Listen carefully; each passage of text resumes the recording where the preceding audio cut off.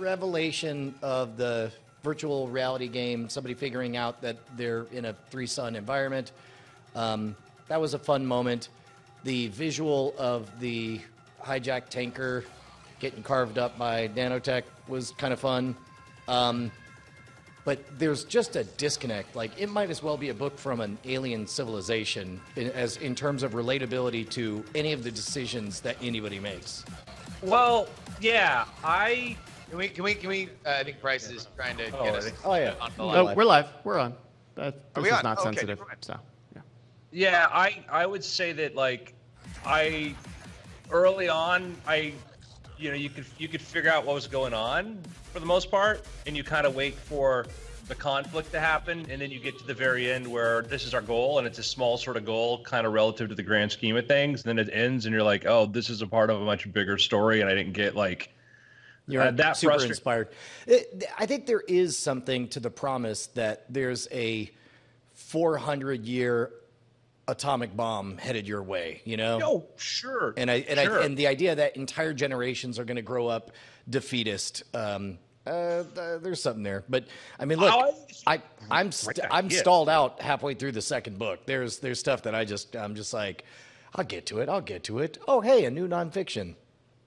Yeah, I, I I think it was filled with great ideas. I think the writing is wonderful. I think I think the like the but I just the plot wise, I'm like I got to the end of it, I'm like this is this is the prelude. Like I felt like if this is a you know Peter F. Hamilton novel, that I would still get two thirds more of a novel or or more. And It, it does I- it, it, it does feel similar in scope to a Peter F. Hamilton novel, which I really dug, but but lacking the the relatable humanity that a Peter Mm. F. Hamilton novel has.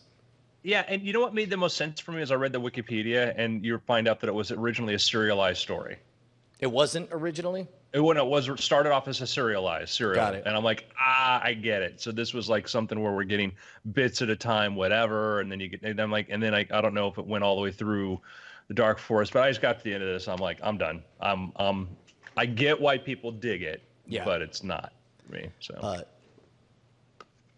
hey, uh, oh, I'm gonna see if something's possible while Bryce is gone. the laws of physics don't work when Bryce is Yeah. gone.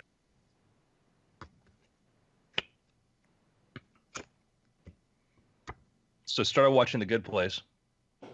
Ooh, what do you think? Uh, I really dig it. Roshni, what do you think? She goes, hmm.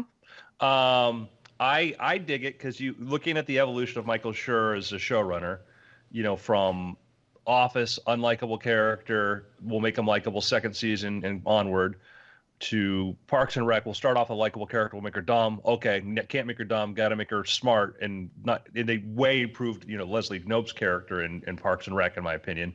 And here, uh, focusing on the idea of going from bad to worse sort of seems seems like an interesting thing he's had a lot of experience with, and I like the shift because I'm like, oh, this is really smart because you watch the first episode, like, all right, I know this isn't what everybody thinks it is. There's going to be a change up, and that's going to be cool, and we'll find out the reveals. And I thought they were delightful, and then you know the second season and what they try to do there. So uh, Yeah, I'm enjoying it. Yeah, it's a show that's kind of always ahead of you, which is cool. Mhm. Like, uh, uh, and it's really just it, it, it's so great to see such an expansive kind of comedy, like to do Yeah. what is effectively a workplace comedy, but like have the workplace be like all of time and space and possible realities and heaven and hell. Yeah, we're almost done with the second season, so are we just Yeah, are we're- finished it? Yeah, we we have not watched episode one yet. Episode one's really good. Hmm. I'm excited. We'll we'll be discussing that on Cord Killers. Oh, The only- wow. Whoa. The only Mm. I was able to get into from last night or this week with TwitchCon was uh was Succession. Secession. Oh, you didn't even watch Gemstones, huh? Oh, to the G. A N. Oh. He's playing. Literally, literally we we uh I got on the plane and we were like trying to watch it on the plane, but the Wi-Fi wouldn't holding up. And like as we're taking off, I just get Bryce saying Succession. oh God! All right, well I got to make sure that I watch it now, but I have not seen uh I have not seen Gemstones yet. Uh, Gemstones this week is also really good. Two really strong episodes of those shows this week. uh, I, I very much appreciated your take uh, Bryce, that uh, Gemstones and Succession are both better than Game of Thrones because I know all of the characters. Every I'm always n- I'm never sure. I'm never ever sure who is who on Game of Thrones. So It's because you're racist. You can't tell the difference between all them white people. That's right. They all look the same to you. they do. Doesn't I- care about history. I exactly know your history, Bryce. Uh, I I definitely like appreciate. I I just do, I do think that it's an underrated yet probably widely held take that like, hey, I enjoyed Game of Thrones because everybody else was into it and I liked being a part of a conversation, but I have no idea who any of these people are, and I always need to talk to somebody else to understand what the hell happened, or else I What's skewed view. that was what I liked about rewatching it was because like ah I know that guy's name now. you know, I know now that conversation before I kind of got the context of, but I wasn't quite sure. Now I know exactly what that was about. You know. Yeah, you rewatch the pilot and you're like, oh wow, there was a ton of stuff in there. Look at that. They, it wasn't just a bunch of like you know medieval skullduggery. Yeah, exactly. Justin, Yeah, were the you sent one of these? I was I no a little tankard. Yeah. Uh, it just said no awesome. spi- no spilling in the studio from one Katie Dirks. Oh my god, that's How so good. considerate. Very nice. Thank you, Katie. I thought that was sweet. I haven't had to make a no food or drinks in here rule yet, but we we did have what was it a salami? We had a salami issue last week. Oh, that's right. yeah, Matt, Matt is just, just wolfing down some pastrami, and I'm like, "Are these? Uh, this looks like uh, pieces of an animal around here." Right, he- because we have bugs and roadkill around. here. well, the funniest part was when Matt walked over to help us inspect, and then uh, finally was like, "Oh, that might be the pastrami that I was eating before." Uh, so real quick before we start, I put out a survey because I want to you know kind of just get a fresh eyes on the politics stuff as we get into this big important season, right? And uh, one of the things I wrote was like, hey, if I, if I brought on like regular guest hosts, like which of the people that I've had were just totally out of left field, who would you like? And there were a bunch for Heaton, but one of them was just, uh, I I'm not a I don't consider myself a horse guy, quote unquote, but I find myself addicted to his horse universe, which I just thought was great. All right, All right, I'm good wanna go whenever show? you guys are. Gonna show? Yeah. All right. I got that bit of cereal up in my upper gum. Oh. Wanna go brush it Sorry. It- it- tragic. No, I'm just gonna like, Breaking news on the Weird Things podcast. I'm gonna use my mouthwash. Oh wait, I didn't update that. Diet Coke. Car pranks. Car pranks. Car prank. Oh, I was playing car pranks. How about last step, the se- week before, the kid that played uh, McBride's character? Oh, it was amazing. That was just, I'm like, where did they find this kid? This I kid mean, is hi- like, him and, and the kid who played young Jack Black in the Tenacious D movie, like casting from heaven. yeah. Oh, you don't see the monitor out, or do you? Uh, I, I see Okay. the program out. Okay, yeah. Anyway. Uh, all right, well, if we're going to start the show, then let's start the show in three, two. Hello and welcome to the Weird Things podcast. I'm Andrew Mayne, joined by Justin Robert Young, Well, hello, friends. Brian Brushwood, Yo ho, second week from the new studio. I can't believe it. and Mr. Bryce Castillo. Hey, everybody, that's me. Well, well, well. What a weekend it was if you're a fan of things that are awesome.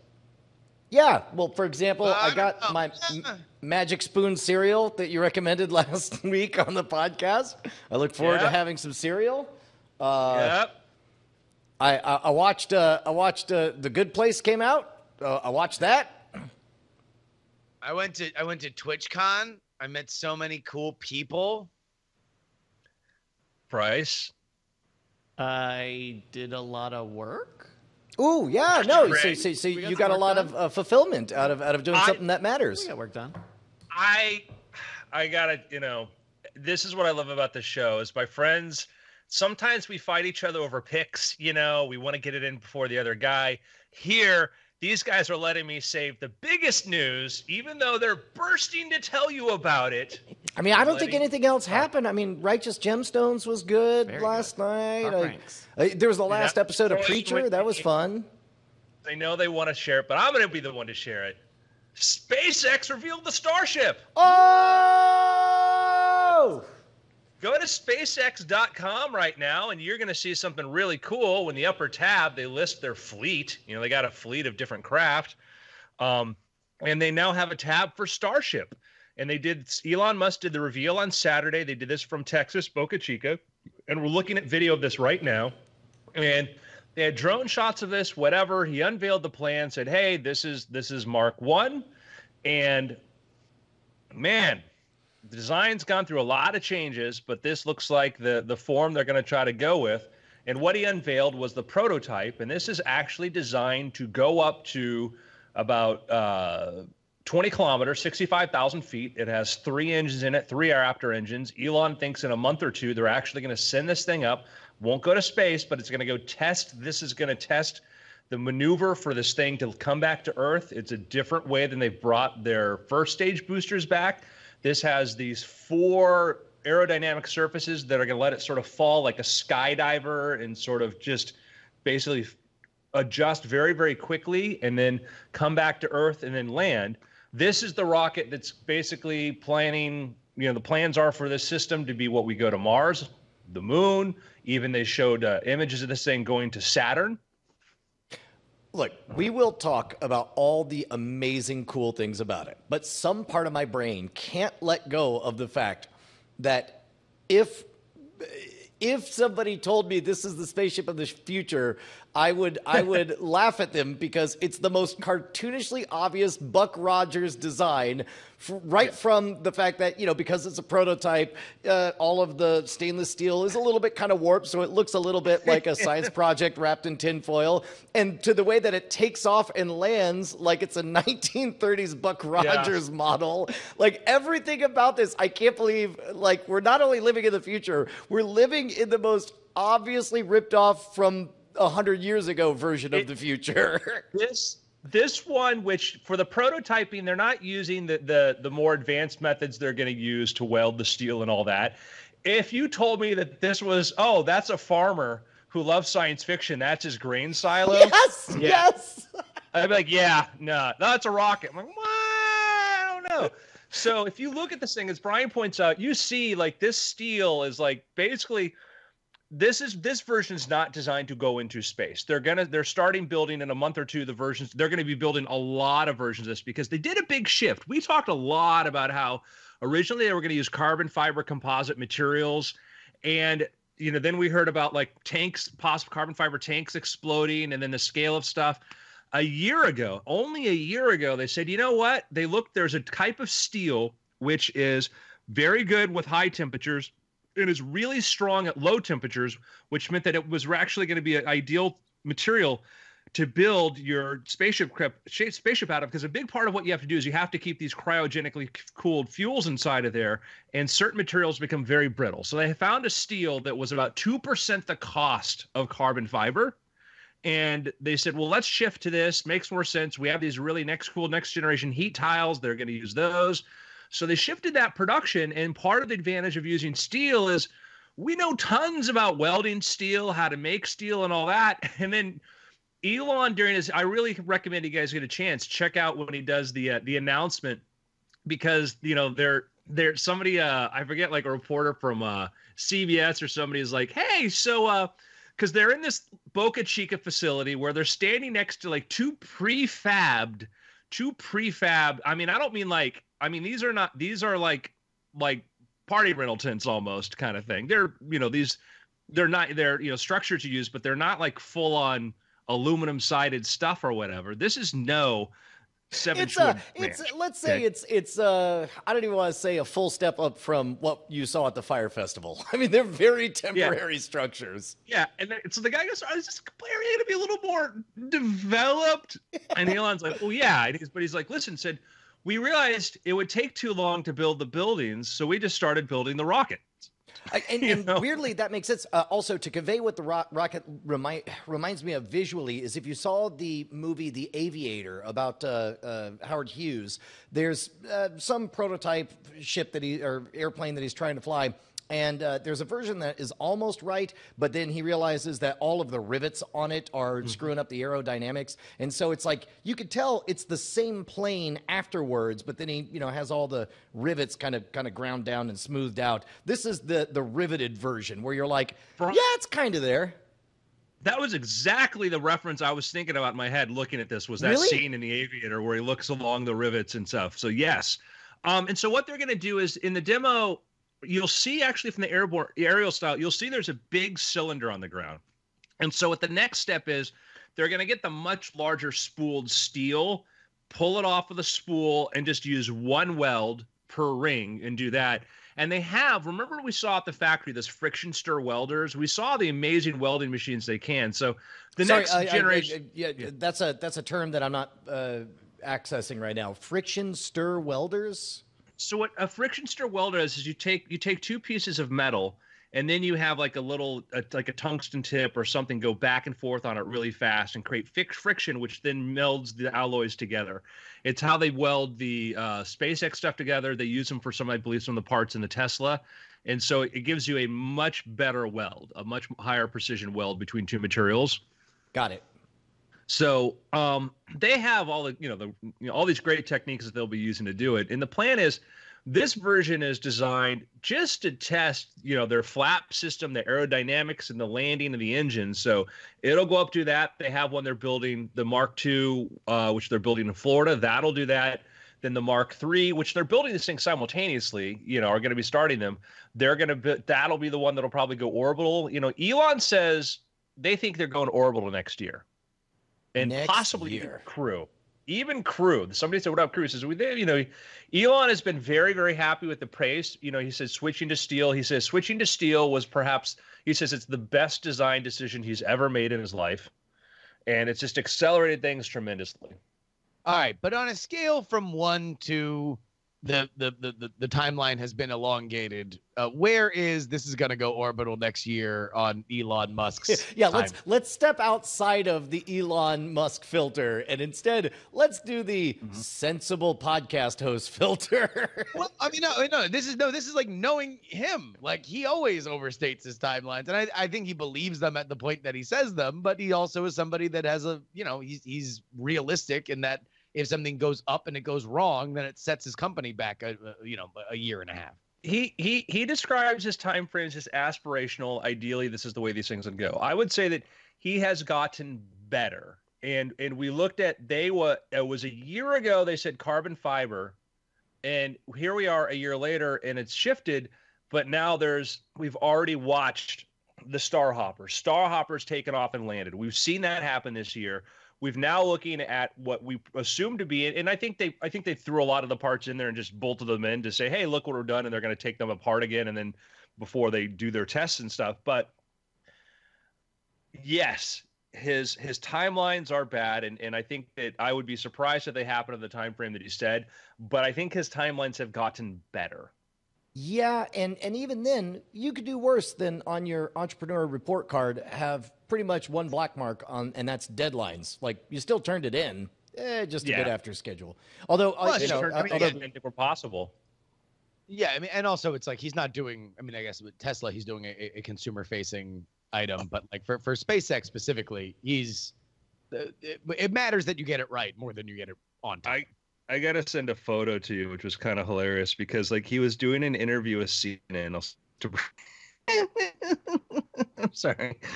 Um, it, because they asked him about there was a little bit of a a he got a little pushback because Jim Bridenstine, head of Na- head of NASA, tweeted out the day before like looking forward to SpaceX's you know announcement um but uh you know i wish that the same enthusiasm was fa- you know we, we had the same enthusiasm from our commercial crew partners which is the the manned spacecraft you know project. And it didn't say specifically spacex in that part of the sentence or that part of the parent tweet but it certainly seemed like he was throwing a little bit of shade at spacex for being like hey this is great you're building this but where's nasa's crew capsule? You know?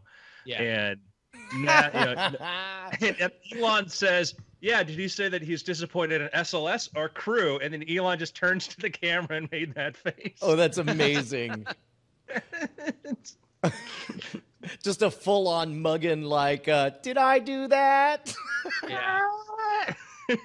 so, um, any event, I it's it's it's exciting. If you go over to the, the page and you take a look at the specs on Starship, uh, this is a beast. This thing's going to be taller than Saturn V. Uh, they're hoping to be able to launch from these from both Boca Chica, which is going to be their own spaceport, and Canaveral.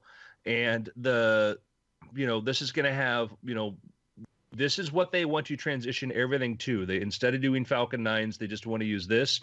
The capability for the amount of tonnage this could put into space is insane. The payload capacity of this is basically, you know, one international space station. Um, Hey, you know, I- the I- interior. I, I got a question. The um, Starship, as we saw it alone, we know we're going to see a test flight where it'll go up however many miles and then come back down. But um, uh, we also talked about how Starship, just by itself, uh, you can't put anything in it, but you could get one up to orbit. Um, but is is that enough that without a booster, a Starship could be that that that 15 minute journey to Japan that we've talked about? Um, suborbital possibly because some they asked him about. It certainly could go some distance suborbital, but uh, to do the Japan journey, I think you're going to want the booster because you you want to go into space to do that. They asked him about, oh, could this do could this do single stage to orbit? And he, you know, and Elon, my answer was like, well, no. And then he starts the spreadsheet that he looks at in his head. He's like, well, you know, if we did this, we could, but then it'd be up there to have no fuel, and it really wouldn't be worth it. And his in his mind too is like the boosters are the most reliable thing they've done so far. Getting boosters back to Earth or something they've they've they've broken a few and they've learned a lot about doing that. And in his mind, it's like, why not just use a booster and get the whole thing back anyways? Because you could put into orbit. When we talked about this before, like you could you you know the, the value of scoring points or not scoring points, you could get into orbit, but if you want to get it down, you still have to refuel it, which then means using a booster and another starship. Right. So- Well, and plus also when you reliably are able to recover all of your boosters and reuse them, suddenly that becomes a, you know, or we could add 3% to the budget of this thing and use a booster. And then it's like, okay. Yep. He he talked. They talk about the presentation too.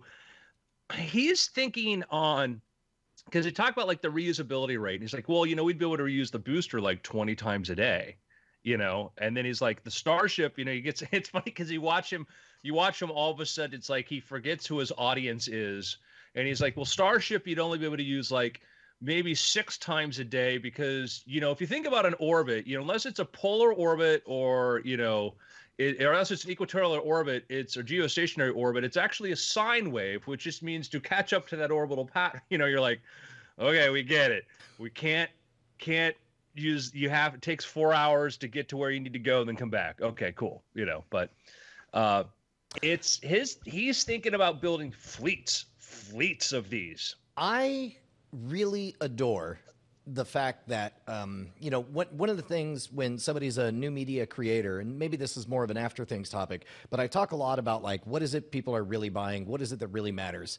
Like when you're at the point where you realize what people really want is rockets all of a sudden a bunch of obvious things like there should be buildings for our employees then it's it's the crazy people who say i don't know should there seems to me like mm. we want to make rockets. and and is building a building absolutely necessary to build a rocket? I'm not sure about that. And and and I'm sure a lot of people on the outside are going to go nuts over that kind of decision. But I love, you know, pass or fail that people are at least, you know, taking that jump. There's there's certainly a book to be written about the evolution of Elon Musk, where you know the things that were pivotal towards him. When the Model S came out, it was a huge success. It was the thing they said they couldn't do, and they pulled it off. And they in their their first time out making a mass scale car, luxury car, won tons of awards and accolades, and it was just this blew people away. So Elon then is like, I'm gonna go up this. I'm gonna build the Model X with gold doors and wait and see what we're gonna do now he introduced several layers of complexity and that was that was problematic the model x early ones had a lot of problems and he talks about like how they were just too ambitious and a lot of people like me i look at it like i, I don't see the difference but i appreciate when they say that internally the things they tried to do made things so much more complicated and that was a big problem and i think that he learned from that he talked twice. He said, "Well, my new motto is, uh, if the schedule is too long, it's wrong. If it's tight, it's right." and so that's what he said. When we come up with these plans, if it seems like it's going to take too long to do it, he's like, "That's wrong."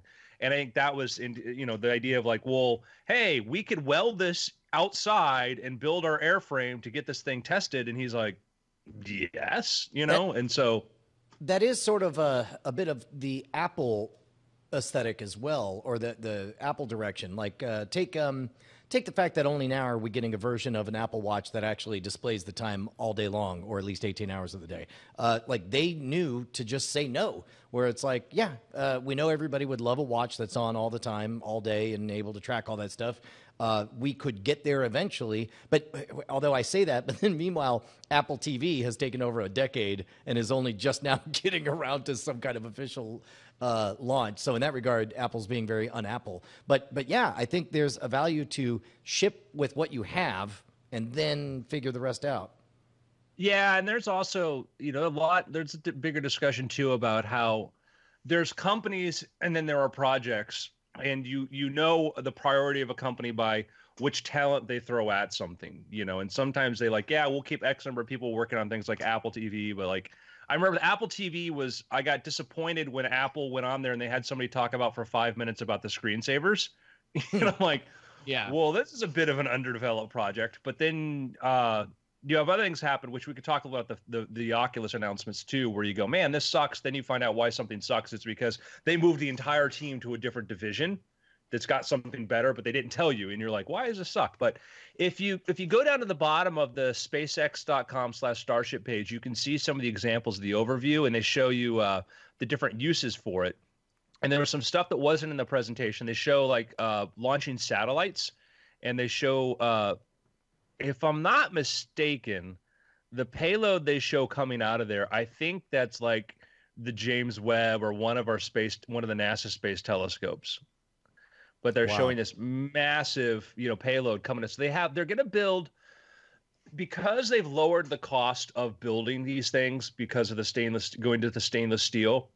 That has a big impact, and it means that if you're if you could build it, if it's you know costs you 30% as much or whatever your engines still are the big limiting factor by the way is going to be producing engines because the booster itself will have like 43 engines um but you know but then again it's like we watched the falcon heavy take off now 27 and that was the big question. Can this many engines work? We've never had this many engines fire. Now the falcon heavy's done that reliably a couple times. But uh you look at we're seeing one version of this has this sort of chomper mode. So this would be different than the, the passenger one. So the idea is you would drive out there and you would see a fleet of these with you know some are designed to carry satellites some are designed to carry fuel some are designed to carry people some are going to be elon's private party palace um you know and so it's neat to go look there and see the different missions the different capabilities they show they show that look at the one where it docks next to the space station um and you realize like uh what what's docking with what this is really huge Yeah, Um, dude. Uh, by volume, it looks like it's uh, roughly the size of the space station.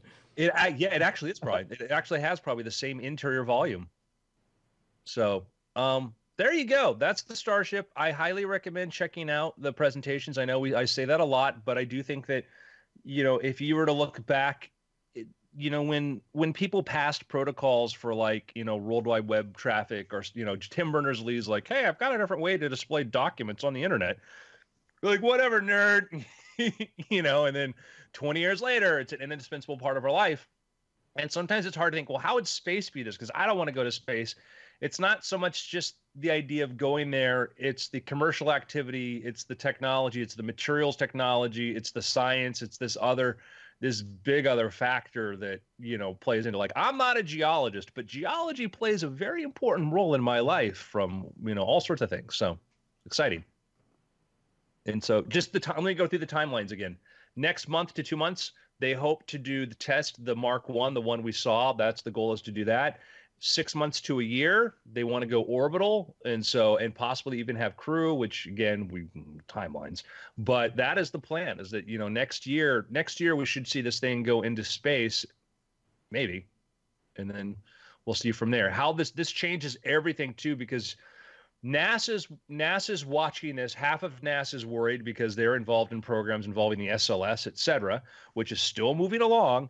And half of everybody else is like, we're tired of waiting. We want something really cool now. If we have this capability, this is a, this is a big game changer. And you know what is what is the world like when you could do a space startup? You know when you could realistically kickstart an experiment to send you and your friends up into space to do some chemistry experiment or some fab thing or whatever. You know, what is what is the world like when, you know, we could kickstart our own satellites and other stuff or you know. Well, I got bad news for you, Andrew. You don't need to go to space to change the world. We've already got what? people changing the world right now.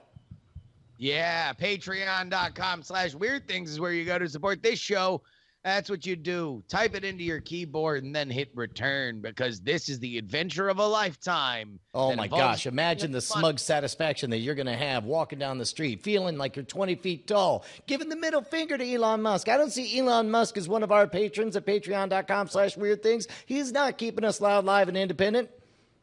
No, he's over there building rockets. So, I mean, basically six of one, half dozen of the other when you become a patron at patreon.com slash weird things. Yeah. In fact, I'll bet he's some kind of sucker that listens to two separate RSS feeds one for after things, one for weird things. Not one of the cool people who gets it all in one feed and gets stuff early. So know that you get access to after things before Elon Musk. Take that, Elon.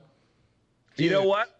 I'm going to add to this offer. When we build our spaceship, Starship, free rides for all listeners. You have a guarantee when we build ours, free rides for everybody. Yeah, true Absolutely. fact. I don't. Oh, what's that, Elon? You say that's not cost effective? Oh, take it to your shareholders. Why don't you commiserate with Starman over that? We love our audience more than you do, apparently. Yeah. Spike the football on Elon Musk's face. Go to patreon.com slash weird things right now. I love science, but sometimes I feel like the job of a scientist is to stay up late at night and go, how can I s- terrify people? Nope, that yeah. was Michael Crichton's job, but very close. Oh, I, I want to scare people. How may I scare them today? And uh, remember we talked about Planet Nine, the idea that way out in the outer edge of the solar system, there may be a massive body which is basically slightly changing the orbital path of things like in the Oort cloud or the Kuiper belt, like like where I think uh, the Oort clouds. We're seeing these these these things seem to be feeling looking looking like they're being pulled by some sort of attractive mass out there. There's something there, maybe you know something that could be like a Neptune-sized mass, you know, another planet maybe that's way out there that's hard to see because we don't know specifically where it is, and it's like trying to find you know flecks of dust without knowing where to look, right? Um, which is cool. And there's some arguments that are like, oh, well, maybe it's just something else, you know, maybe something passed through. Like, we don't know what it is. We haven't seen conclusively any evidence of a planet there. Could be, but it's just really hard to find. And that'd be kind of cool if we do. But somebody else has said, hey, we got a theory for you. What if it's not a planet? I was oh. wondering about this. Like, what if it's like a just a collection of, uh, but but if it was a cloud of big asteroids or gas giants, you would think that it would spread out into a ring around the whole the whole solar system. So what if it's what if it's something else that's able to hold its structure, Brian? Oh, like an alien craft? It could be like no, an alien no. megastructure just hanging out watching us. What show do you think this is? Sorry, I didn't mean to go what, to stray outside of the sensible what, solutions. What frame of reference do you think I was inside my head that I didn't share with anybody? Um, no, uh, maybe, um, but no, no, I got better, better. What's that? What? What is that? Tiny black hole. Now, okay, I I hear a lot of like, things I about. I was all aboard my alien spaceship idea, but now I I hear stuff about black holes that reminds me that I know very little about black holes. Uh, I think of black holes as you know, uh, super dense. You know, you got a Jupiter collapse down or whatever. But then I also hear about tiny black holes evaporating, which sounds crazy to me. The idea that tiny black holes exist and then break apart and wisp away, and and and and then I hear that oh, we don't have to worry about faraway black holes swallowing our planet because their gravity well is very specific and doesn't really affect us. I mean, outside of like the supermassive black hole at the center of our galaxy, like, what am I not understanding about black holes? Well, Brian, I don't know. Um, Okay. uh, um, I, I know that uh, it's almost like there's a branch of physics where people ask that question every day. I, I was just You hoping what that maybe not- you knew a couple of little bits. Uh, that- Well, that- you you you have you can have things at different scale and you do get like they, they found out that like you have edges of it like you have radiation that's given off like that was like hawking i think got the nobel prize whereas that so they can part of it can radiate away and they can sort of evaporate through that process but you can have different sizes of this when these things start to condense and get small.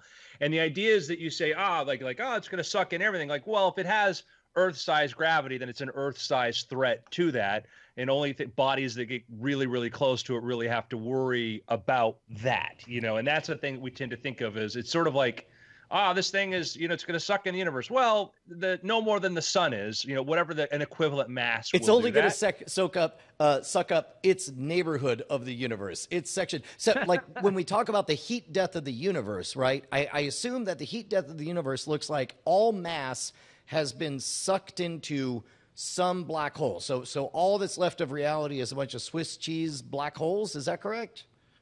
Oh i don't know i mean i i my understanding is different and and not confident enough to say Okay, neither of us know anything. All right. Yeah. So, but but as far as uh, um, the the the idea of black holes, like you could have a you could have a you could take you could take the matter in your fist and it could become a black hole. It would be an extremely super super super super super small black hole and not really pose much of a threat to anything. You know, it just you know fall through the center of the earth and just sort of sit there. You know, we, we think of a the black hole's power is related to how much mass or how much you know the mass is there. So a black hole that's you know weighs this you know this the si- the mass of our sun is going to have the gravitational attraction of Our sun. our sun.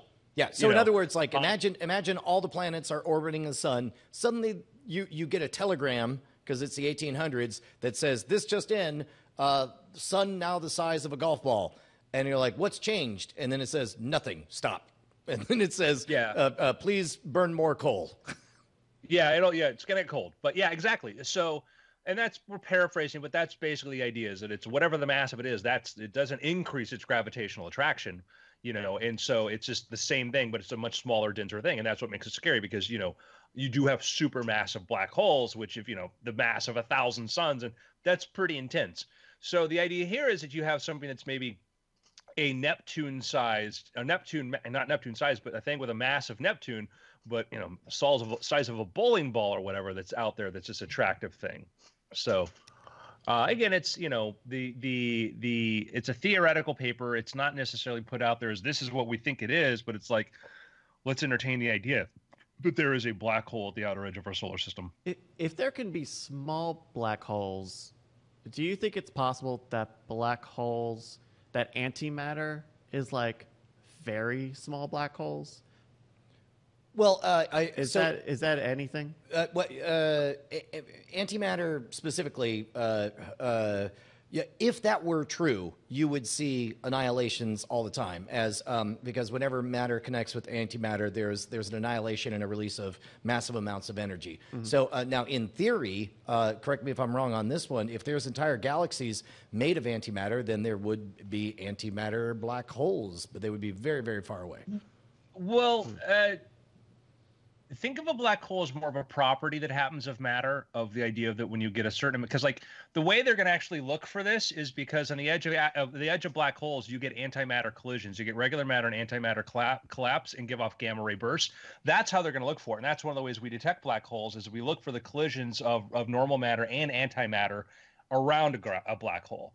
So uh, yeah, think of it as like think of a black hole as a thing when you have anything is of of enough, anything that could be any sort of uh, uh, uh, any sort of property that has mass is able to collect together in a large enough space. You could get then a thing that basically folds onto itself and creates a singularity. So um, it Okay. wouldn't it, I, it wouldn't be like that. Not likely to be that because we see the properties of antimatter around black holes. So Okay. no. Um, And I'm if, uh, I I mean, have we talked about antimatter on the show? Because I, I, I know that we all have very limited understandings of it, but but as I remember from my high school physics or a little bit of college, basically at the creation of the universe could have gone either way. Uh, All atoms could have been made mostly of protons or mostly of is, was it electrons or either either one charge or the other. But basically, it was a coin flip and the vast majority of the universe happened to come up tails instead of heads, and a lot of the the particles that came up heads immediately collided with all the tails par- particles, and so um, so as a result, there's very very little of antimatter out there. Although it is possible that there are giant chunks of it out there, in which case it would be the most efficient and powerful source of energy in the entire universe. Am- am- am I, am I on track with that, as I understand it, Andrew? Yeah, I think that was yeah. That's the you know there was like that balance, but then it you know we ended up on one side, you know, and you get that weird thing too that comes up like the chirality of like certain proteins and stuff and other things, where it just sort of went one went, and there's probably a very fundamental reason why that we're still trying to figure out. Um, but uh, you know, antimatter's a very interesting thing because it's a thing that we're now it was one of those things that was super super it was one of was theoretical but then the idea well it's a, we know this thing's real we've observed it in the laboratory but it's not a practical thing now we're actually in the laboratory producing antimatter and now there's even companies working on antimatter containment systems because it has advantages for like if you want to produce super high energy you know uh, energy beams things like this they could actually be used for like cancer treatment etc and it sounds crazy that antimatter could be used for stuff like that but it has this you know potentials for that. And so there's companies working on improving antimatter containment systems. And so, an antimatter containment system would be some kind of vessel that uh, that is, there's a vacuum in there. There's a few. We're talking like atoms, molecules, or I I guess literal handful of atoms, but they're contained in like a a superconductive um, uh, magnetic field, right? So they're sort of Yep. balanced in the middle of nothing inside of a box. yep yep Scientists will transport antimatter in a truck. New favorite headline. and it's it's a minuscule amount but we're still learning how to produce it. And then it, you know it occurs naturally. It's one of the things that you know if you're looking for a far off space economy is that you know on some of your your bigger gas giants and stuff like this you know as the sun basically blows off solar winds across the solar system you get you get areas where antimatter collects. You know there's antimatter in orbit around the earth. There's certain belts and stuff where we have it too. It's just not a lot of it. So crazy. Yeah Man, Space antimatter weird. be upside down. What are they? They're antimatter. They're the Australia of matter. weird.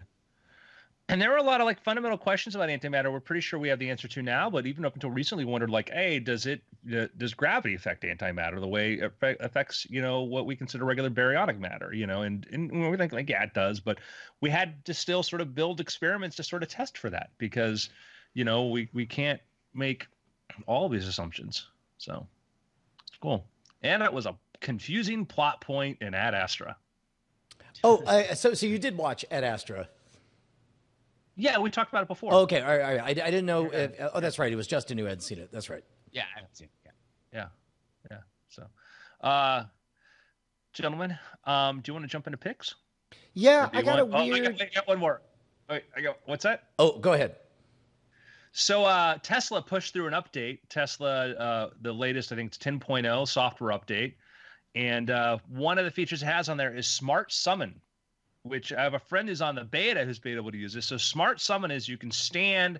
You know, at the you know, stand out in front of a shopping mall, press a button, and your Tesla will back out of its parking space, slowly drive through the parking lot, and pull up in front of you, and you can hop in, which is Oh my great. gosh, If I'm already buckled in for all of the YouTube videos of like people freak out when car drives itself. Well, there's that, and yeah, a lot of times like people are using it in busy parking lots and stuff, and and you're seeing videos uploaded of you know that's like, oh, no. Tesla, oh no! Oh no! Oh no! Ah! it It definitely just drove into. it's, it's a- no no worse than an old driver. lady driving. Yeah, it, it, so we just watched a video of a Tesla tr- approaching towards somebody else in an intersection, and then another car, somebody just racing through the parking lot, not really paying attention and deciding to stop. So nobody got hurt, but you know, it's still we're going to see more videos of this as people are using their remote controlled cars in parking lots. I'll tell you what, man. If if I'm Elon Musk, I'm like as many of these videos as you want, post them, get them out there. Because what I love about these videos is notice the lack of anybody being hurt, injured, or dying. uh, yeah. I mean, my That's- feelings would be hurt if I used this feature and then somebody dented my Tesla because it drove into a. Uh, Well, we saw a video. We have a video of somebody's Tesla backing up, then some other car backing up into them, and it looks like it was the other car's fault. But, you know, how do you explain to your insurance company? yeah, right. Is that covered? Yeah. Yeah, well, Here and- we see this truck. So, so here's the to- weird part: is I can't decide if parking lots are the worst place to start instituting this due to the lack of set rules, or the best place because everything is happening very, very slow, and everybody is sort of negotiating. It, uh, parking lots are one of the few times of driving that nobody's really running on autopilot. It's one of the few times that drivers are fully engaged, scanning, looking for pedestrians, looking for children, looking for baby carriages, looking for other cars who are clueless. Uh, we none of us really have any respect for what lines are painted where. So maybe still maybe this is the right uh, trial by fire.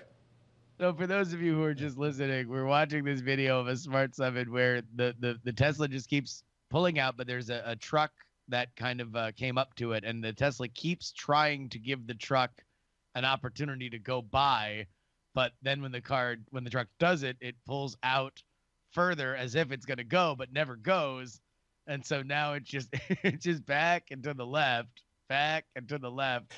But that's all the- like in, in a world where machine learning is now able to give us, you know, deep fakes, I gotta feel like they're gonna be able to deep fake the way drivers sort of negotiate with, oh, are you going? Am I going? Oh, you definitely are going right now. Yeah, they're they're it's like you had a situation here where you watched this is a big truck like with dualies whatever that went to go turn a corner which meant that basically it's driving on it's in the middle of the road it's at both sides right and so the tesla's faced with this thing where it's thinking in a properly ordered world this car would be on one side not here and now and the, and the driver of the truck's like waiting for the car to go even though he's that situation where you're trying to pull in and somebody's blocking you because they don't realize how far over they are which is a real situation that has to prepare for so um, you, the the beautiful thing is, is you get a ton of data from this. You're going to get a lot at Tesla. There's there's people at Tesla that handle all of this sort of data of like what went wrong here, went wrong, how do we improve it? So expect a new software update in a couple weeks that's going to learn from all of this. Yeah, but but even then, it's remarkable that it works even this this close to well. Yeah, yeah. So That's awesome. Hey, Yeah. so I got my kids to watch war games over the weekend. Uh huh. It was a lot of work.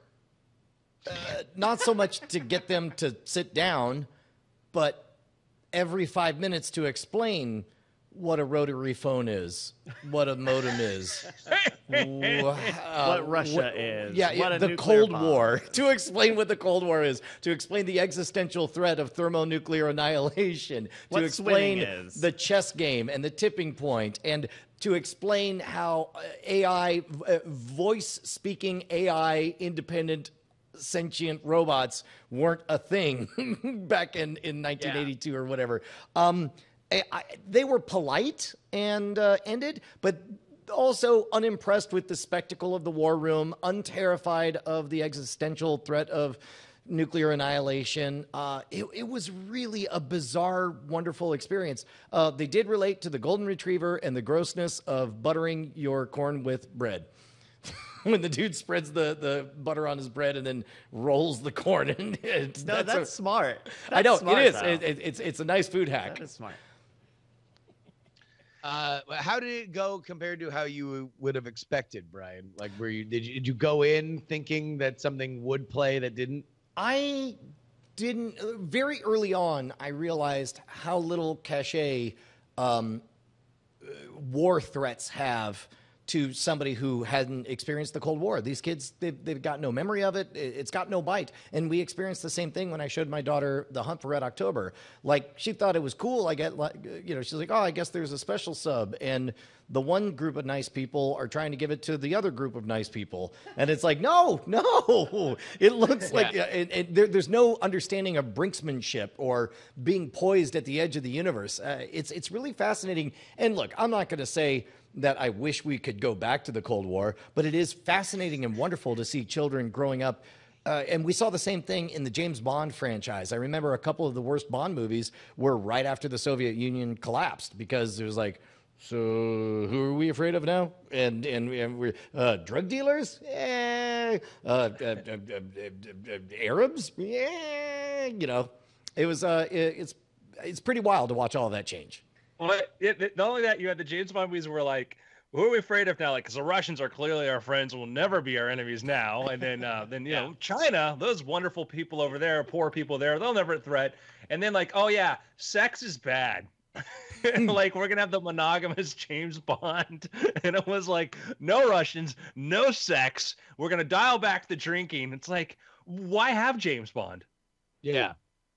That's literally like like the the the, the father, son, and Holy Ghost of why we watch these movies.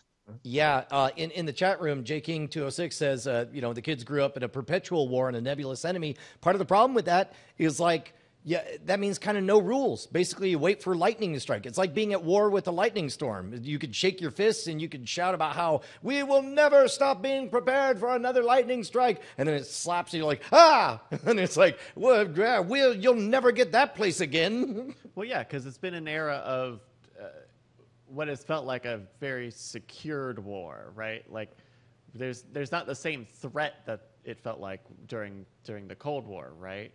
Uh, Well, and I think that's part of why we're seeing so much. This this is way. I, I haven't Are we going really thought far? this through, so forgive me if I'm totally wrong about it. But I think that's part of why so much of our media cycle attention goes to the threat from within. Because when we hear the narrative of a crazy person who gets an AR-15 and shoots a bunch, bunch of people, we can hold on to that and understand like okay that's a that's that's an actor and an archetype that I can understand and also there's a thing I can do about that whether it's you know in, depending on what belief you subscribe to whether it's restricting guns increasing licensing increasing mental health education or whatever so I, I think um, man there was nothing like that simplicity and again I'm not nostalgic for the actual Cold War war but- used to be yeah. simple, everybody. but everybody. man, could you tell some simple stories back in the Cold War days? I, I- I think You part know, of- if, if if we want to get into a, a larger kind of meta discussion, it's we are in a very introspective age and we are connecting to each other on an introspective kind of level with social media and, and even texts and phones and FaceTime and everything. That uh, if, if there is one fundamental shaping of it is that you're always able to say, oh, well, my feelings are X and I'm connecting with people who have similar feelings and experiences or differing. I'm, I'm attacking people that I want to attack are the people that have different ideals on that. And it's not as simple as like, oh, okay, well, whether or not we agree with the government, we do understand that we are at odds with another government. And if they disagree enough, we are all dead by way of nuclear holocaust. Mm. Yeah, there, that and there's also like, you know, the, the reason nostalgia works is that if you lived through it, then you know that period turned out to be okay, even if you were, you know, people like nostalgic towards the '50s, which I don't know, Jim Crow laws, stuff like that, like, and it was, it was Well, and- really and horrible even, for uh, a lot take of people. Take a science fiction show like, uh, man, the miniseries and the following follow-up miniseries for V. Uh, that that was almost a nostalgia play for uh, what in the 1980s. Most of the people watching it in their 40s, uh, uh, in their mid 40s, were were preteens and teenagers during World War II. And so as a result, seeing a bunch of aliens coming in acting like they're friends with clearly Nazi inspired uh, hierarchies and uh, uh, agendas uh, w- might have been a weird kind of nostalgia play. I wonder if maybe we're due for some version of Cold War nostalgia in a sci fi format. I guess we got that with The Expanse. The Expanse was pretty much you had the U.S. and uh, as Earth, you had Russia as as Mars, and then you had the Third World as the Belt, and and we continue to to enjoy that story. Uh, also, do you ever notice the thing about the V logo? How it's like a swastika? Oh yeah, yeah, yeah. It's it's it's part of a swastika and two dots on there. But of course, you know, when I was in second grade, I didn't know it, about, about any. Well, of that I stuff. knew because I listened to two guys next door talk about it, and they're like, "Ah, notice it's clearly a swastika," and I'm like, "Hmm, interesting. The bad guys are Raiders of the Lost Ark." Yeah, there you go. You can see if you. If, oh, you had it there for a second there, Bryce. Uh, the the symbol on their uniform is the one that looks uh, vaguely swastika-like. But yeah, uh, man, and that was the TV series. They went like full on World War II because they had like their Casablanca, like middle ground kind of place where, you know, where both the aliens and the humans, you know, could you know interact and oh, whatnot. Um, man, what man, what a nostalgia bomb! Just even looking at that design. That's I watched the hell out of those. That was like it was the, the, the most disappointing part of the, the the reboot that they did was that like you could have still taken that iconography and it would have played. Like, Yeah. like, so much really good like like there's like retro crap that you're like oh that's cool because I remember it as a baby. And then there's some stuff where it's like man like if if a, a pop artist if Lady Gaga showed up looking like that you'd be like oh dude that's cold as hell. That's awesome Yeah, the uh, man, there was a window where the rumor was that the reboot was not going to be a reboot, but just it's been 20 plus years, and the same resistance fighters are beleaguered and broken and missing arms and eyes, and they're still fighting the good fight, and this has been their forever war. And I think there really would have been something to that, but uh, oh well. You know, I, I wonder if they were to do it now, it would probably be that because now the appetite is so much more on the level of like, no, we want to directly plug into this other thing. We don't necessarily see the value of like there's, you know, the the, the difference between like the the Ghostbusters, the Paul Feig Ghostbusters movie being like, no, we're gonna totally reboot and turn over everything versus what you're gonna see now coming up, where it's like, no, we definitely, uh, it was a mistake to throw away all this lore and all this uh, uh, uh, connection point. Uh, and I think that, that even in television, you would probably see that. You, you know the uh, the one thing that comes up too that's really sad about V. Remember the character Robin who got pregnant? You know, with the alien baby. Spoiler. Uh, two two babies, one lived, one did not. The actress. Do you know who was originally going to play her? Hmm. Dominique Dunne, the girl from Poltergeist, who got murdered by her boyfriend. Oh, the the old uh, the older teenage daughter. Yeah, yeah, that was tragically murdered. Um, and you know, I mean, like Man, that all pol- murder's uh, tragic, but it's- poltergeist, what a tragic story just in general, because the older daughter in Poltergeist uh, was killed in that incident. She actually had a lot of Hollywood heat at the time. And of course, the little girl, Carol Anne, um, I think she had a, a, a like a, either an autoimmune or liver disease or something. Yeah, they misdiagnosed it while they were shooting like Poltergeist two or three or whatever, and then yeah, it passed, and that that just, Just sad. heartbreaking. So yeah, and I, then you look at the- you know, like that's the thing too. It's like I watch a V, and you, I actually went back a few years ago and started watching some of the original ones, but and then you're like you look in the cast stuff, and like oh my god, like oh you know just uh, terrifying. They they also do on V because pacing was just different uh, 40 years ago. They uh, they take a long time to get to the twist of that the aliens are bad guys. You spend an awful long time, and this is back before the internet, before everybody knew what a thing was before it came out. Uh, you spend an awful long time that whole first act being hopeful, like oh this is great, it's a new, and then and as a result that twist really has some punch. And and remember who played the good alien Willie? Who played him? Yeah, uh, uh, Robert Englund, uh, Freddy. That, that's how he'll Freddy always be Krueger. Freddy, or he'll always be Willie to me. Yeah, and so he's got played like Freddy the, the Krueger. super nice exception. Oh, Yeah. and, and he was so adorably, you know, trying his best. Uh, oh man, what a different character. Yep, yep. What about you guys? Picks? Oh man, you know I was at TwitchCon, so uh, I don't really have a a ton of. Uh, oh, oh, here's here's a pick. Uh, I I don't even know where you guys could hear it now, but I was lucky enough to be on uh, uh, conservative talk radio this Friday, uh, thanks to Andrew Heaton, who was uh, a, a fill-in on 560 The Answer in Chicago uh, uh, he did uh, two hours worth of uh, of content, and and I was there. I was at a uh, at a at a, at a bar in San Diego, listening to myself, you know, air on you know Chicago conservative talk radio, which was pretty fun. But uh, uh, I would just go ahead and, and say my pick is Andrew Heaton's uh, the, the Political Orphanage. Very, very, very funny guy and uh, a show well with, worth watching. Uh, behind the story, uh, behind the the scene story on this, like uh, that slot that he was plugging in for is is the uh, the slot formerly hel- held by presidential candidate I can never remember Joe Walsh or John Walsh. Walsh. Joe Walsh. Joe, Joe Walsh. Walsh. and So he- uh, and he- uh, uh, uh, who who and uh, who uh, apparently uh, uh, I don't know that that particular station um, really wants a red team blue team kind of talk show person, you know, and uh, and of course that's not what Andrew does. So instead, uh, he came in with a very sideways angle. I look forward to hearing this. Uh, yeah, no, it was uh, very, very, very funny, and and uh, I you know got to do two segments, which was which was pretty cool. Groovy. I got a pick. So Go. I've been playing uh, here on twitch.tv slash night attack. Uh, I've been playing uh, a story game. Uh, I, w- I just finished up doing Final Fantasy IX a few weeks ago, and so I've been playing this new visual game or visual novel game called I, the Somnium Files. And uh, it's it's really weird. So it's written by uh, the the man who wrote uh, the Zero Escape series, if you know those video games, and it's a sort of murder mystery game where you are a Psyncer, uh, P S Y N, uh, Psyncer, and uh, you go into people's dreams and you use that as oh also you're a cop you're a dream cop.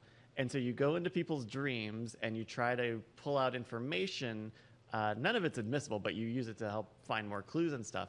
Uh, and uh, so you are you are trying to solve this case of, of this woman who you you are acquaintances with uh, who was found dead and has her eyeball uh, missing uh, and an ice pick stuck in in the uh, in in the um, socket. So, uh, whose dreams are you invading? Various people. Um, Okay. m- very- They're like, you name it, man. You got dreams. I'm gonna invade them. I'm the Yeah. dream cop. basically. It Doesn't sound constitutional. well, and they have to. It's not like he's got a um, like a supernatural ability. They go to a machine. They just go to this big machine at the police station. Um, but yeah, so you you it, that sounds like a, a 42nd Amendment right. No dreams shall be invaded unless a writ is provided specifically mentioning the dream or memory to be uncovered. and and so it's it's this weird thing because the last the last series, the Zero Escape series that this man had written, were all like escape room games. So you were doing like puzzles and little logic things or word puzzles and whatever.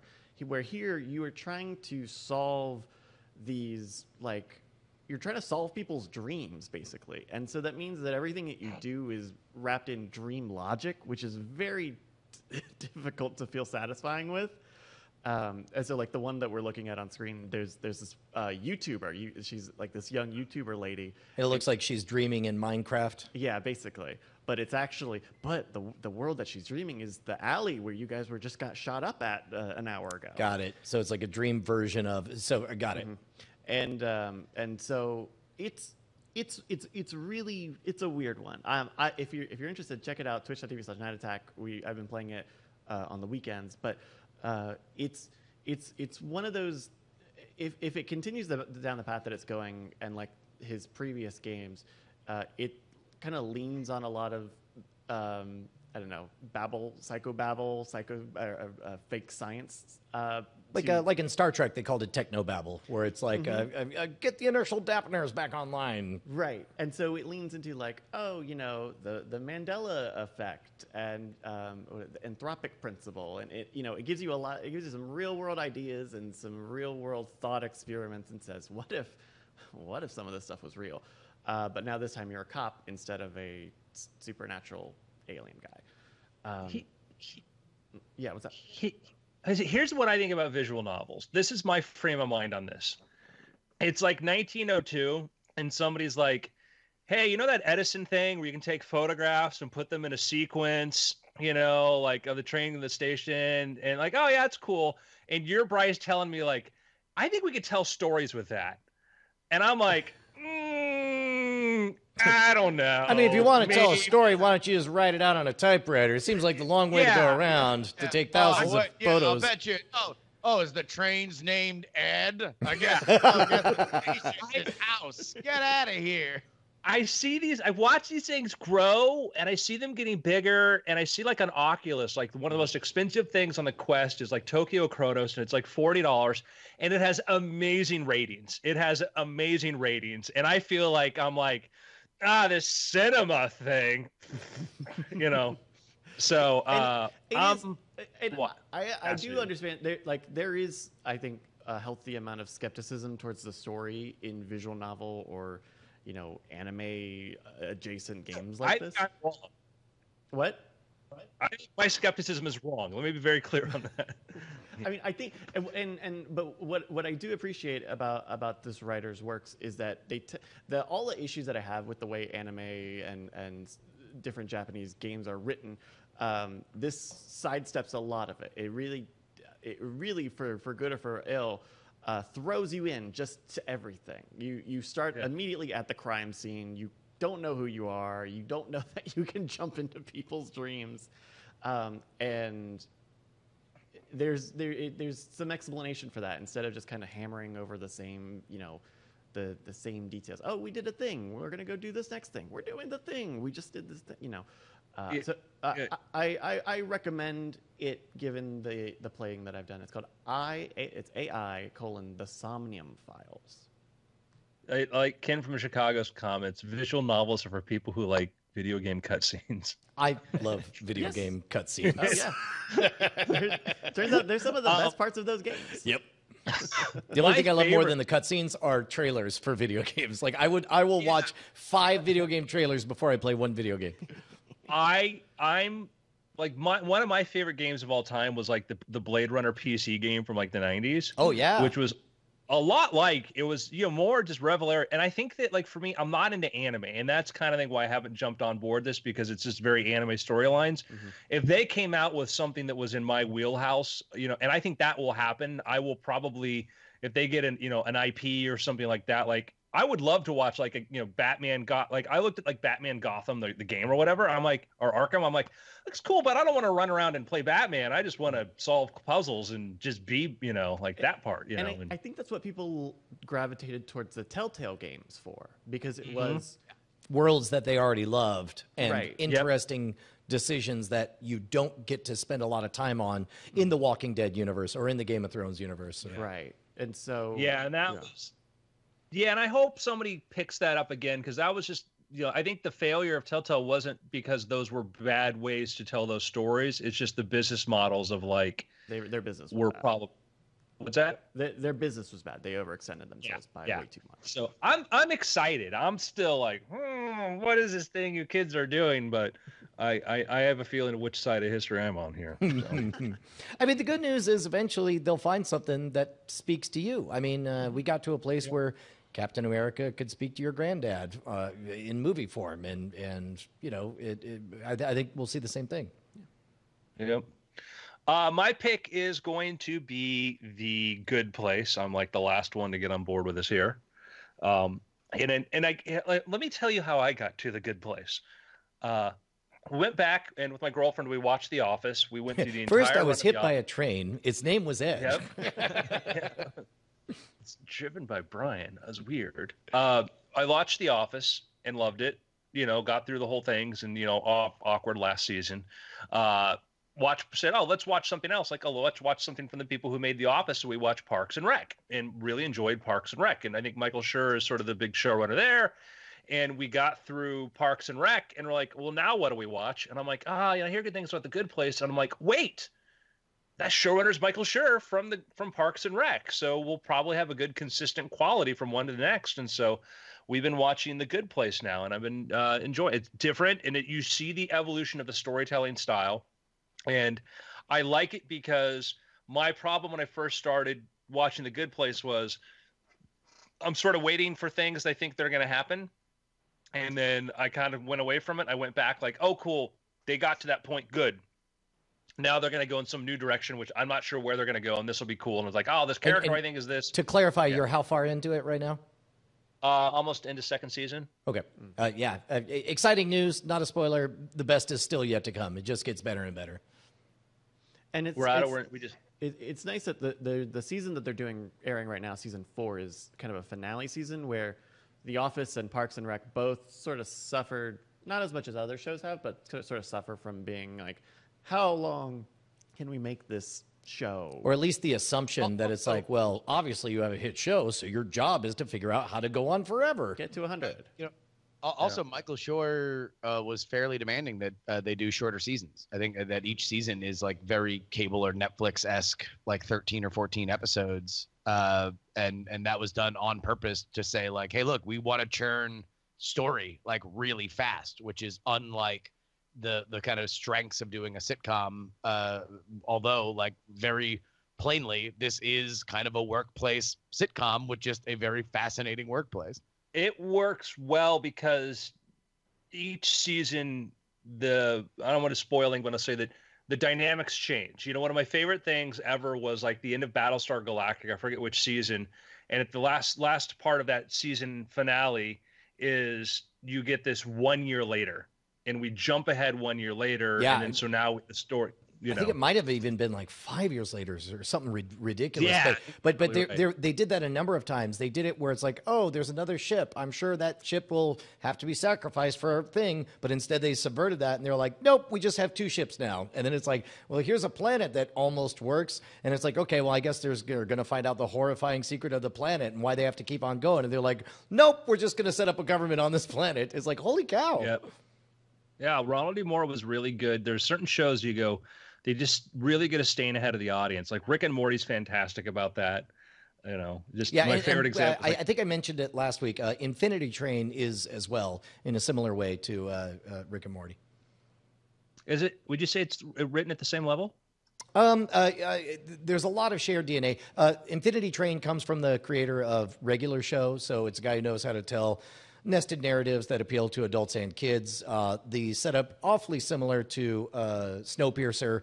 Uh, girl uh, with uh, uh, uh, troubles at home finds herself on a magical train, uh, is working her way up to the front car where hopefully she'll see the face of God or whatever. And short episodes, around 12 minutes each. Uh, I think there's what, only 10 episodes in the season? Yeah, looks like Uh, there is a couple of moments like halfway through that just delighted me beyond words, uh, both in a positive and a uh, heart wrenching kind of way. Um, I really look forward to what they do with it because it surprised that it gave that rarest and most wonderful gifts in video narrative storytelling in that it truly surprised me.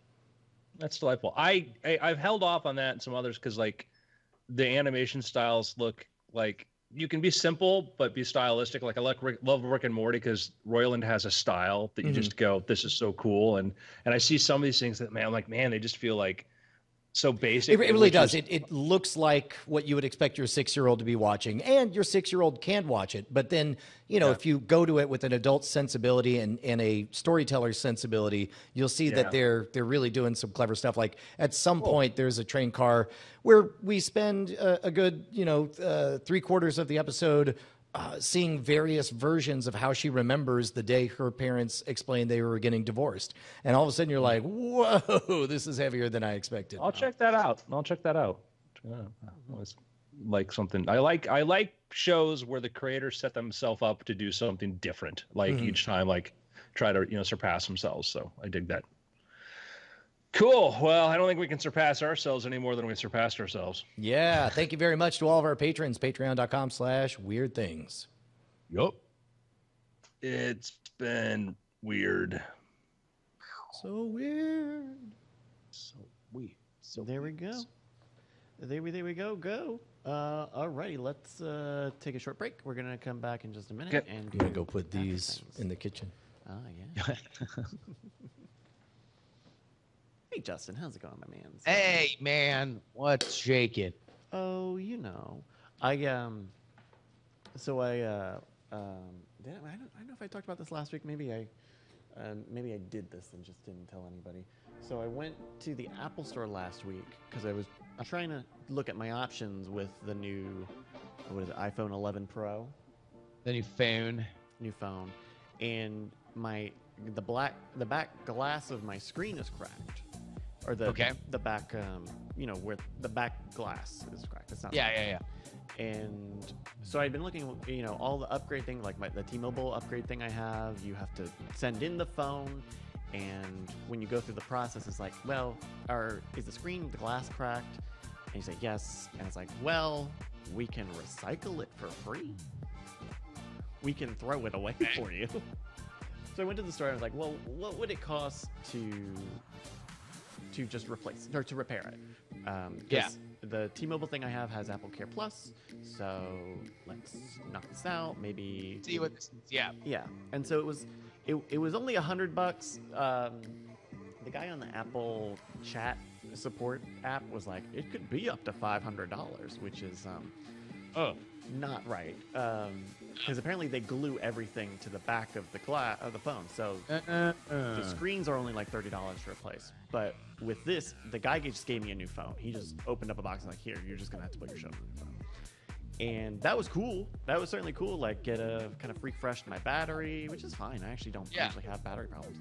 Um, you know, new display. You know, just everything's new. Um, and it and I think it kind of made me like hold off on getting a new getting a new phone. No, I mean, yeah, I think that there's a lot of there's a lot that goes into stuff like that, right? Like you mm-hmm. got to figure out, you know, how like what do you really want? Like, do you want longer battery? Do you want a like? Are you frustrated by the new operating system running slower on old hardware? Like, mm-hmm. I think that there's there's a lot of kind of vectors that sort of go into it that I've been able to bury within a deep part of my soul because I can write off buying an iPhone because I'm on Daily Tech News Show. So it's like, uh, I think for for the consumer, we're in a very commoditized world for smartphones. There's a lot of smartphones that do a lot of really cool stuff. Yeah. Gone are the days where there, you know, is a proprietary element to something that is like out of the box, undeniable, amazing, right? Um, even stuff that that was kind of like longer tail of value, like you know, Apple's App Store is kind of uh, fascinating. You know, while there are certainly some security things, like in general, a lot of major apps, you know, there, there's either no gap as to when they launch on both platforms or a very small gap. Like it's not like two years of iPhone only Instagram before they come out with a, a Android Android. version. Right. Um, Um, and like, so yeah, it, it made me look at all that stuff because the big new thing is, you know, the process is faster and the cameras, you know, the new camera, the I- I- front camera I, is I wider. will say the camera the camera is the first time that I've ever screwed with the camera and been like, oh my god, this is like just fundamentally changes how I take pictures and videos. Like being able to like whereas before pinching and zooming uh you know to to get the uh, picture to look exactly the way you want made it was oh like it either looked a little hacky or a little like amateury if it was a video. If you're like, oh my god, I'm gonna like zoom in, it, it looks a little home video-y, like Yeah. when you actually watch the video. The fact that there's just three buttons that I can just go like boop boop boop, and I'm just constantly like live switching to another really good in focus composed shot is uh, just kind of a game changer. Like I, I get why they made the aesthetic decision to have it look like a weird spider Sure. um, for for that user experience. Yeah, but I, I think at the end of the day, and, and it's cool. Like I used it in the in the store a little bit, and yeah, changing the the lenses uh, when you're taking video is cool because it's it's it doesn't like snap as quick as it normally does. Like it kind of smooth. It kind of makes it look, uh, like a real transition. Yeah, Um, but at the end of the day, like I think it ended up just being a financial thing where, you know, for T-Mobile, I'd have to put up, I'd have to pony up like 130 or something up front. Um, Okay. uh, or oh, just to clear out like whatever the old deal is, and now you No, have the new. just at, as the down, as the down payment. Oh, okay. Um, though the Apple with the Apple one, I, I was also looking at the Apple program, and and that's there's nothing. is zero down, but it's a much higher monthly on that.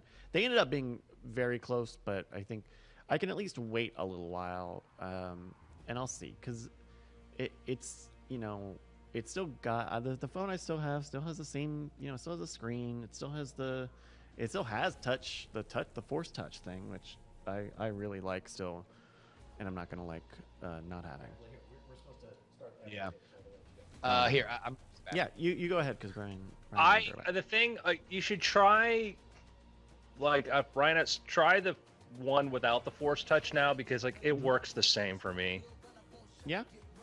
Yeah, I mean, I, I think force. That's the reason they drop force touch is just because in software you're able to do the long press and the force touch effectively work the same way. Um, and I think press just- instead of the force touch. Like the only thing I've used it for is to enable mouse wheel or mouse mode, basically. And and once I found out that you don't have to push, because I'm always afraid to push too hard and be messing up my screen. And then once I realized, oh, all I have to do is hold it down for a second. That's easier. Yeah. Um, I, I, th- I think this will be the first time. I don't I don't know that I've actually waited a, the, the year for the new phone. Are you going to sit this one out? I think I'm gonna. That's the that's the recommendation from those you know who bought it, and it's only because mine's busted that I feel like, you know, Well, I'm gonna have to get it. But I mean, if you, I mean, if you have, I, I mean, every year I hear that though. They're like, ah, if you feel like it, wait it out. And like, I like, I'm like, yeah, if your phone works fine. For I talked to somebody at a party, you know, the other day who like had a f- iPhone like six, and I'm like, well, if it works for you, then keep it. You know, I, I, but I like, I love the cam, like the camera's my favorite feature. I love the camera. So if you're like, for me with the upgrade program, like, well, every year I spend five hundred dollars for a new camera. Like, yeah, it's cool. That's fine. But if you don't care about the camera, then yeah. Um, Um, and it also, with Well- paying this phone off, then I can free and clear make the switch if I want to to the Apple upgrade.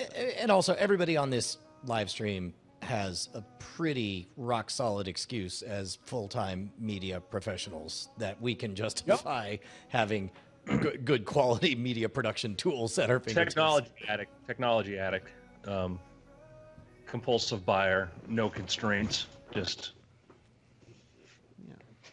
Im- no, im- no no impulse control. That's my excuse. Uh, all right, you guys uh, want to do FTO? yeah i was thinking for a topic uh I'll start off. I've got like I just made just like a list of like work life hacks, like things that I know that help increase my productivity, and I could start off with a few. And if you guys have some, then join in and or comment on that, whatever. So Yeah, it's great. So grab bag, uh, tips grab yeah, bag. Yeah. Yeah. But I put together a list so it's like if you you give you guys a chance to think of stuff. Cool. All right, then uh, let's start after things in three, two. Hello and welcome to After Things. I'm Andrew Mayne, joined by Brian Brushwood, Hello, beautiful people. Mr. Justin Robert Young, Hello. Mr. Bryce Castillo. Hi, everybody. That's me. So I thought we'd do an episode where we talk about some of our personal work. I wrote like work life hacks. Number one, turn off autocorrect. Um, work life hacks. And I- I've got a list of some stuff here. I'll I'll point mine out, and then Brian and Justin will share, and there's Bryce as well. And first off, not mileage may vary. The thing that's super great for me may not be super great for somebody else. The thing that I'm totally cool doing may not be. But I also think that you know, when I look at people who are very, very productive, sometimes they have habits I do not have, and I probably should have those habits.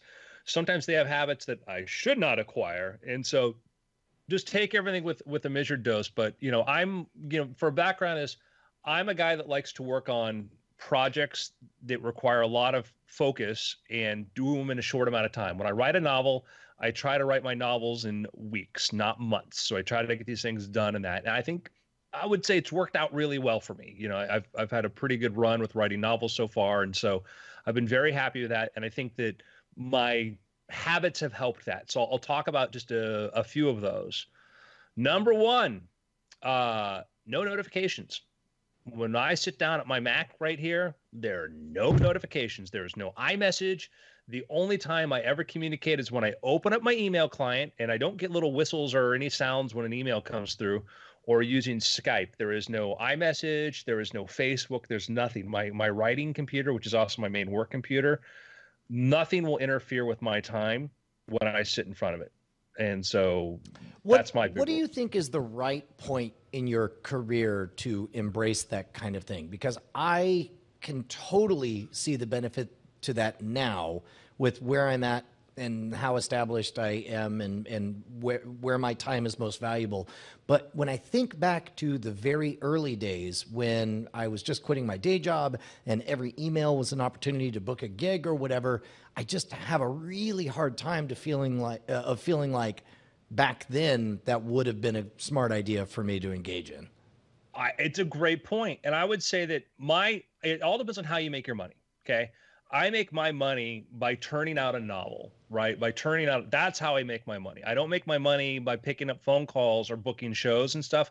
I I have to check my email once or twice a day to make sure like I just in the middle of our show my editor sent me the new cover design and I needed to say yes or no on the cover. Now, I didn't have to do that right away. I could have waited, you know, I waited an hour to go respond to them after the show to respond. That's my life as a, as a writer is that if I did if I handled email in the morning and at night, probably there would be no impact on what I did. But for you, where you've got to do cust is when you're still in the position where you have to be doing the customer relations, yeah, customer relations is your job. Having people contact you is critical. And I think now you're in a point where you could say, hey, Joe, down the hall, you handle this for me. But that's a great example of, of the difference. And also, it helps to set boundaries. Like, I, I, I, you know, I'm not in a position too much where I sit down and I need to have my notifications off so I can focus on, on this one thing. But I do have my phone set up that at a certain time at night, it turns on Do Not Disturb uh, my Slack is on Do Not Disturb, so people see that uh, I won't receive messages. Um, just so that you know, it, there's there are very few things that are going to happen after 12, 1, 2 a.m. Mm-hmm. that I that I need my if I'm awake that I need my phone to go off and say, here's the Slack uh, panic serotonin. You need to stop what you're doing and answer this message. Usually that stuff can wait until the morning.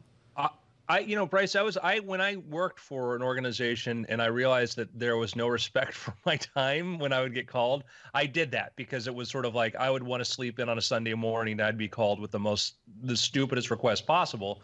And so I made that decision of like, I, I turn off, I'd have to turn off my phone, and my alarms until like 11 or whatever it was, because I realized I'm not a doctor mm-hmm. you know and i have no medical knowledge there's no no super dire emergency that there is not somebody better you can handle to get to handle it when you call 911. Yeah, you so. know what? There's something that at one point in my life, nothing made me more angry at. And now I see as a tactical strategy might be one of the smartest things to do. Uh, my friend Nate Staniforth, when I call him and he does not answer, he says, Hey, it's Nate, leave a message. And then you hear a beep followed by the words, the user is has no room on its voicemail. Goodbye. and that might be the most brilliant thing because he now knows that I called him. And when he looks at his missed calls, he'll see, oh, Brian called. And he knows that if it's important, I likely will call more than once. Almost the content of the message is is pointless, and uh, I don't know that that might be a hack worth at least trying on. Go ahead and fill up your email uh, your voicemail box, see what happens. Yeah, I don't get many. I mean, I I I will call, and if I don't get somebody's voicemail, I just send them a text message because. I know it's easier to read a text message than to go through a stupid voicemail system. Mm-hmm. So certainly a version of that. Um, oh, my next one is, uh, but also the advantage to no notifications is your attention is your own. You, your your attention cannot be pulled away from anything else and everything else. So, yeah, Justin, you know, away. Yeah, I, I've I've found that a little bit. Like as I've had a few projects that have required me to just dial in a little bit more, and specifically when I'm like in the frame of mind where I'm not doing something that I've done a million times, or I'm trying to reform my process. I'm trying to be a little bit more deliberate about my process and not just kind of make all the same decisions that I normally make. Uh, where when I'm frustrated with the res- with, with the results of that of that decision, I tend to want to medicate with distraction, with mm-hmm. Twitter mm-hmm. or whatever, right? Um, and so like it's it's one thing if I'm like just like all right, if I only have to fight one front and it's just this desktop and I'm just looking at that, then it's like yes, I do have to exercise the self control that I'm not going to open up a web page and then go to check something out, right? Um, but more and more, I've found that I just need to not only leave my phone in the other room, Mhm. but I also need to like put my watch on, uh, you know, or I need to put both of them on airplane mode. So at the very least, I'm at least only fighting just the desktop, like just me wandering off, you know, or getting lost in a Wikipedia hole in like research or something like that, just in this place and not I'm doing that, and then I get the thing on my phone, and then I'm paying attention to the thing on my phone, and then I come back to the thing, and now I'm just watching a video and blah blah blah blah blah. Like that that has been something that I've learned more and more as I've gotten into projects that aren't just like here, dialed in, we're talking, we're having, you know, a good time. The connection is part of the reason why the show is good. Uh, uh, but if it's just me building art by myself alone, there are like safeguards I need to put in to prevent myself from sabotaging that. W- uh, And I- thing, and- oh no, go ahead. no, please, Bryce. Uh, one thing that helps me when I do need to get in that is I have at home where I do my editing, I have two monitors set up, and um, the way that I have it set up is that the one monitor, the big monitor, is the editing thing, and then the side monitor is just Discord or it's you know some extra thing. I found just turning off the extra monitor um, helps keep me focused a little bit. So if Discord is open, if it's not open, it, you know, if I if I try to load up a Google Chrome thing, that just that on an empty or or preoccupied monitor being off helps. Uh, uh, if that's gone away, the other thing I do is um, on something that I know I'm working on today. I will. Uh, I have a. I have whiteboards. I, I have a couple of whiteboards, and I'll just write out. Okay, this. I need to do this step. I need to do this step. I need to do this step. I need this step.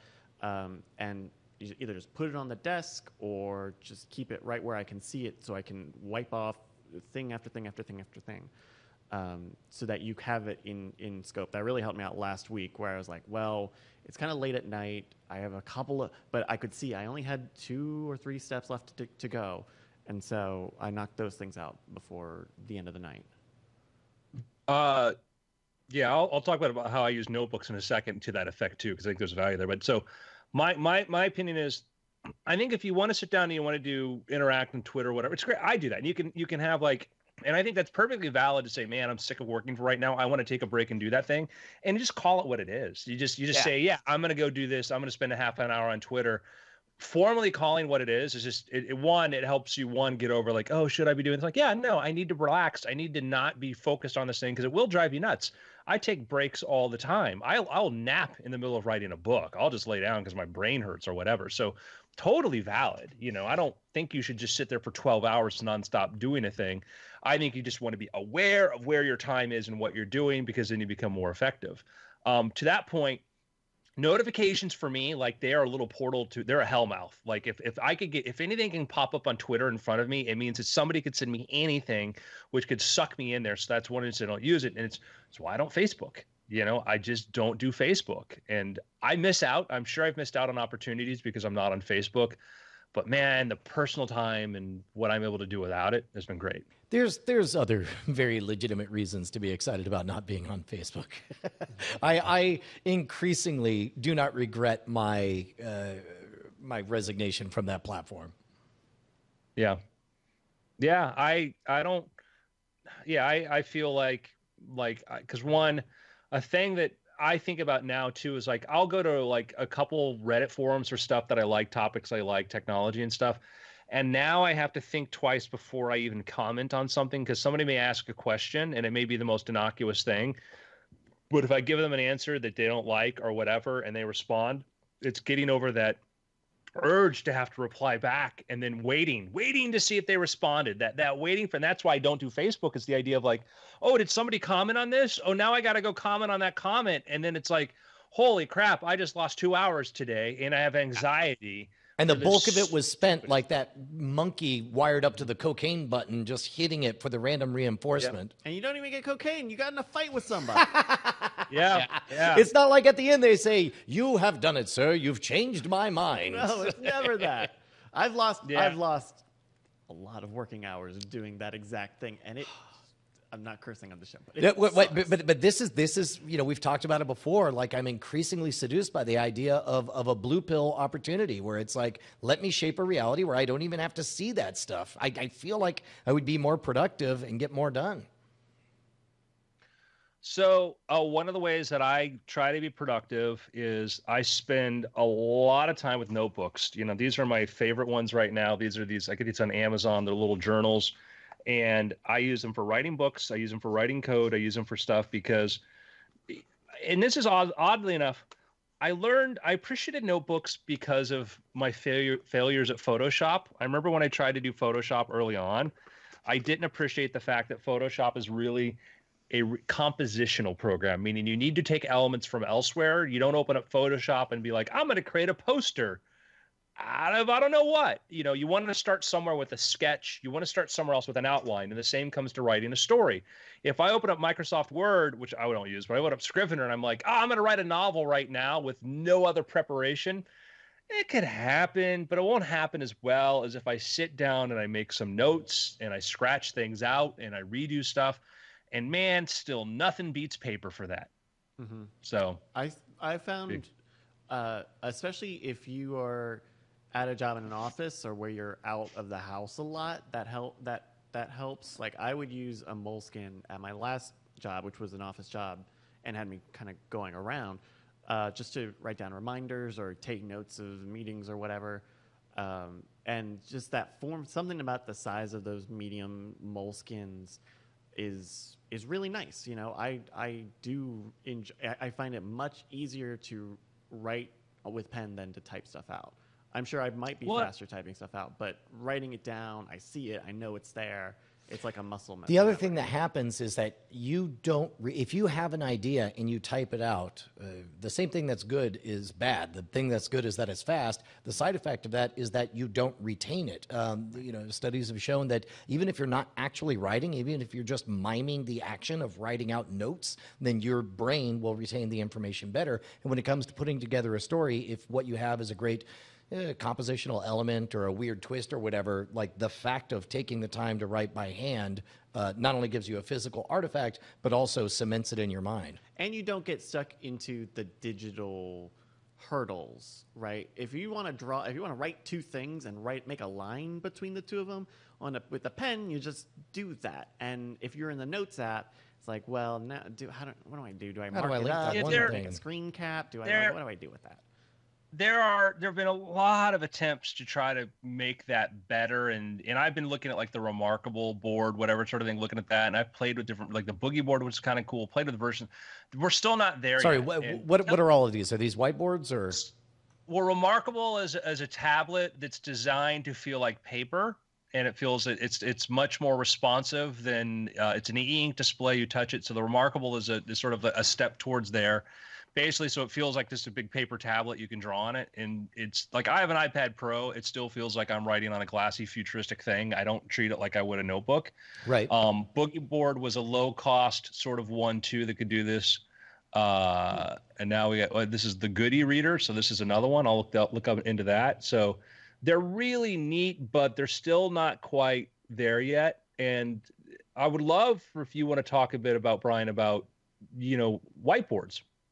Yeah, uh, I love whiteboards. Uh, the only bummer is that everything is ephemeral, but that also means that you have to. You have that moment of creation that you could do whatever you want and you put it out there, but then you also have that moment of deletion and you know you're deleting it. And maybe you could take a photo of it or whatever, but at the very least, what you're really doing is deciding okay, I figured out what my tasks are. Now it's time, because I need the real estate, to figure out a new place to put this on my list, whether it's put things on your calendar, whether it's uh, write down the goal, whether it's um, uh, condense all of this, uh, this, idea, this, this plan that you have, and then reduce it to a single line on the new Whiteboard 2.0. But I think that being able to take those in the moment ideas and get about. Uh, first thing I did when we put up the whiteboard here is sort of come up with a, a statement of purpose and a, a, grand scheme of how we're going to create here at the new Modern Rogue World headquarters. And then what there came a time where it's like, okay, I've got it. I've internalized all this. I could do all this from memory. So it came time to erase it. And now it's a matter of as I'm walking around, you just see all the little things. I'm making a shopping list. Like, okay, we need something to protect the floors from the rolly chairs. We need uh, monitors over here. We need a mini split uh, air conditioner for this room because it's insufficiently covered. And, and, and it's so great to have that thought, be able to take action in that moment, and know that it's not a solution, but it puts a pin in it so that near term future you can do it and get the satisfaction of wiping that off the board you know what I have seen in every behind the scenes of Google, uh, I think Apple, SpaceX, and every production office I ever go to that produces a ton of stuff. Wall whiteboard wall whiteboards or whiteboard walls. Every it is a universal creative tool, even in the most technologically advanced companies. The whiteboard, and now I'm thinking about like, man, like maybe I want to do more whiteboard. You know, maybe my background should be a whiteboard because you know, Justin just made a, a sign. Hold on, hold on. Oh. Uh oh. Uh oh. Did and Justin join the whiteboard he train? Quit the show. oh, did he just quit the show? What? Well, Wait. And, and, on that same note, I have uh, a portable. Oh, oh somebody got a, a whiteboard. it's like human sized. It's big. You got a big one. Now our guest host, whiteboard. whiteboard so, sitting. Uh, you know, one of the things that I did recently was to, um, you know, make a decision on on clearing out stickers or DIAF, which was like the merchandise store that I was running. And uh, part of it was like I just had this realization that I have this whole wall where I have a bunch of stickers that are just kind of static, but it's right next to my studio. It's right next to where I produce everything that I do. And what I really need if I'm going to commit to doing more content is create a tool that will help me make more content. And so this board is literally today going up where the old shelves were.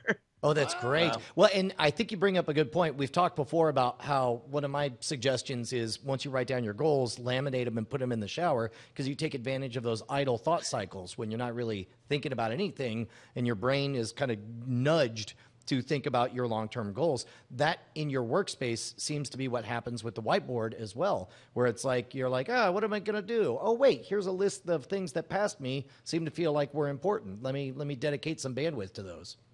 That's why I have a laminated poster of Miss Maxim 2007 in my shower. um, I have a and and my I have a little portable, just a little I don't know, couple couple feet big, but I have a portable one so I can move it around and put it on. Doesn't count. Not as big as Justin's. oh, oh, damn! Thanks for playing, Bryce. but it's it's nice because I can make it intrusive, right? If I go out on a, if I take a break, if I go and take a walk, I know I can write out my stuff and put it right in front of my desk, so I can't ignore it. I know I can just put it where it's going to be in the way. So. Yeah, I'm now I'm like Jones gonna go on Amazon and look for whiteboards. yeah. See, this is not about you guys. It's about me picking up these tools uh, from everybody by else. By the way, do yourself a favor, get a magnetic whiteboard as well because you got those little mm-hmm. those little push pins that are just magnets that you're oh. able to put note cards on there. Then you're able to you know physically move stuff from one to the other. Oh, oh, that's what I got. And I could you know do a mental slate magic trick with them too. All right, hold on. Uh, we just had an intruder come in the studio. I have to go welcome uh, the original Brito, who just walked in. I'll be right back, I swear. Okay. Uh, I'm going to tell you another one of my work life hacks is it was funny. We watched Brian leave and walk behind Bryce, and now we're watching a hug. This is now endearing. Will Harris, uh, the, the the OG Brito, uh, uh, yeah, making his way to the seven acre schwood in the diamond. so, um, it's uh, we gotta gotta put some blinds on those doors. That was awkward hugging there. Um, it was very very very sincere though one of my favorite things is I love to learn things, maybe to a fault, but I always I think that that habit I got into because there is such a wonderful amount of stuff online from YouTube courses, Udemy, and all this sort of stuff that uh, it is. And and again, I I'm more code centric in the things I've been learning to do, but I would say that you know part of like I got my Discovery Channel special because I had been doing some courses on, you know, some AI and some tech stuff that helped me when I did my presentations that made it more convincing. There is all these specials like udemy's great. They do these frequent specials where the $200 courses go down to 13 like there was like we just saw a thing there for 13 bucks you can pick up an ios development course which is and she that Angela Yu at the bottom like uh i don't know which course that is there but uh her doing that's her web development. She's a great teacher just a ton of good courses but like for the price of a supersized mcdonald's meal you can take a course that is better than most college courses, you know, more comprehensive than most college courses on these subjects, and you can make yourself, uh, uh, you know, commercially viable, create stuff, whatever. Mm-hmm. I cannot emphasize how much how important this is. And the other part of my last hack here is learn tools like maybe intimidated by Photoshop or other things like this. Pick up a course, learn learn enough to be dangerous, and it's amazing. I, I, I swear I don't have an agenda to make all of our programs uh, railing against college, but Justin and I have been on a tear lately. Like this is part of the reason in this universe, anything you want to know, it's there for yeah. for practically for free. It's and, amazing. And if you are in a field yeah. where your work speaks for you, then these are a very good alternative, especially if you are, uh, you know, able to learn by yourself, able to reach out to people and get critiques on design stuff. You know uh, if you are a filmmaker, you don't have to necessarily go to film school if you go out and make a lot of great stuff. If you are a web designer, you don't have to necessarily go to school for you know graphic design or uh, web web development if you make websites and they're good and you know what you're talking about. And, and I'll tell you what, uh, what's interesting is you said make great stuff. I didn't even know that making great stuff is as important as making complete stuff. Like well, that's I mean, the weird of, part. Like getting work. Yeah, yeah. Oh, sure, sure, sure. You know, at the end in, of the day, you got to you have to yeah. get good, and that's the, ultimately the goal. But but yeah, you're going to start off being bad for a very long time. When when I look to hire somebody or collaborate with somebody, the the resume means very very little to me. It, the resume because I've met so many comp the, some of the most incompetent people I've met have amazing resumes, and I realize that because they moved around a lot. Um, but uh, or they're just the resume seekers. And the the question I like was, and I heard it was really I think poignantly put forth by somebody who was like a recruiter for SpaceX said that you know our favorite question to ask people is what have you made, and that's the best question. If I'm talking to a graphic designer, it's show me your covers. You know, if I'm talking to somebody who I want to work on a business project, like show me your past businesses. You know, if if, if they all ended in bankruptcy, I'm not going to necessarily hold that against you, but let me know yeah. operationally what things worked, what they did. I want to know what your experience was. You know, and what have you made? What have you made? What have you made, gentlemen? What have any of you made? Uh, nothing. I'll tell you what. I made my decision on what my pick will be. Are we on to picks yet? Sure. Uh, I started listening to the uh, one of the last projects of the late great Stan Lee. I'm I'm listening to the audio presentation of A Trick of Light. I I believe that the print version isn't even out yet, but uh, it was a collaboration where they were coming up with uh, what would a new universe with Stan Lee's sensibility of taking adolescents who are struggling to fit in with the world as it is today and, and give them new types of uh, unique gifts. And uh, I, am really enjoying it. It's uh, surprising me uh, on and on again. It's come up with um, this is uh, superhero fiction. Well, yeah. I, okay. I, mean, it's Stan Lee, so of course it is. So I, I don't think it I'm just it sounded I mean, like it might be like a documentary thing. No, no, no, no. Jesus it's right. Superhero fiction. no.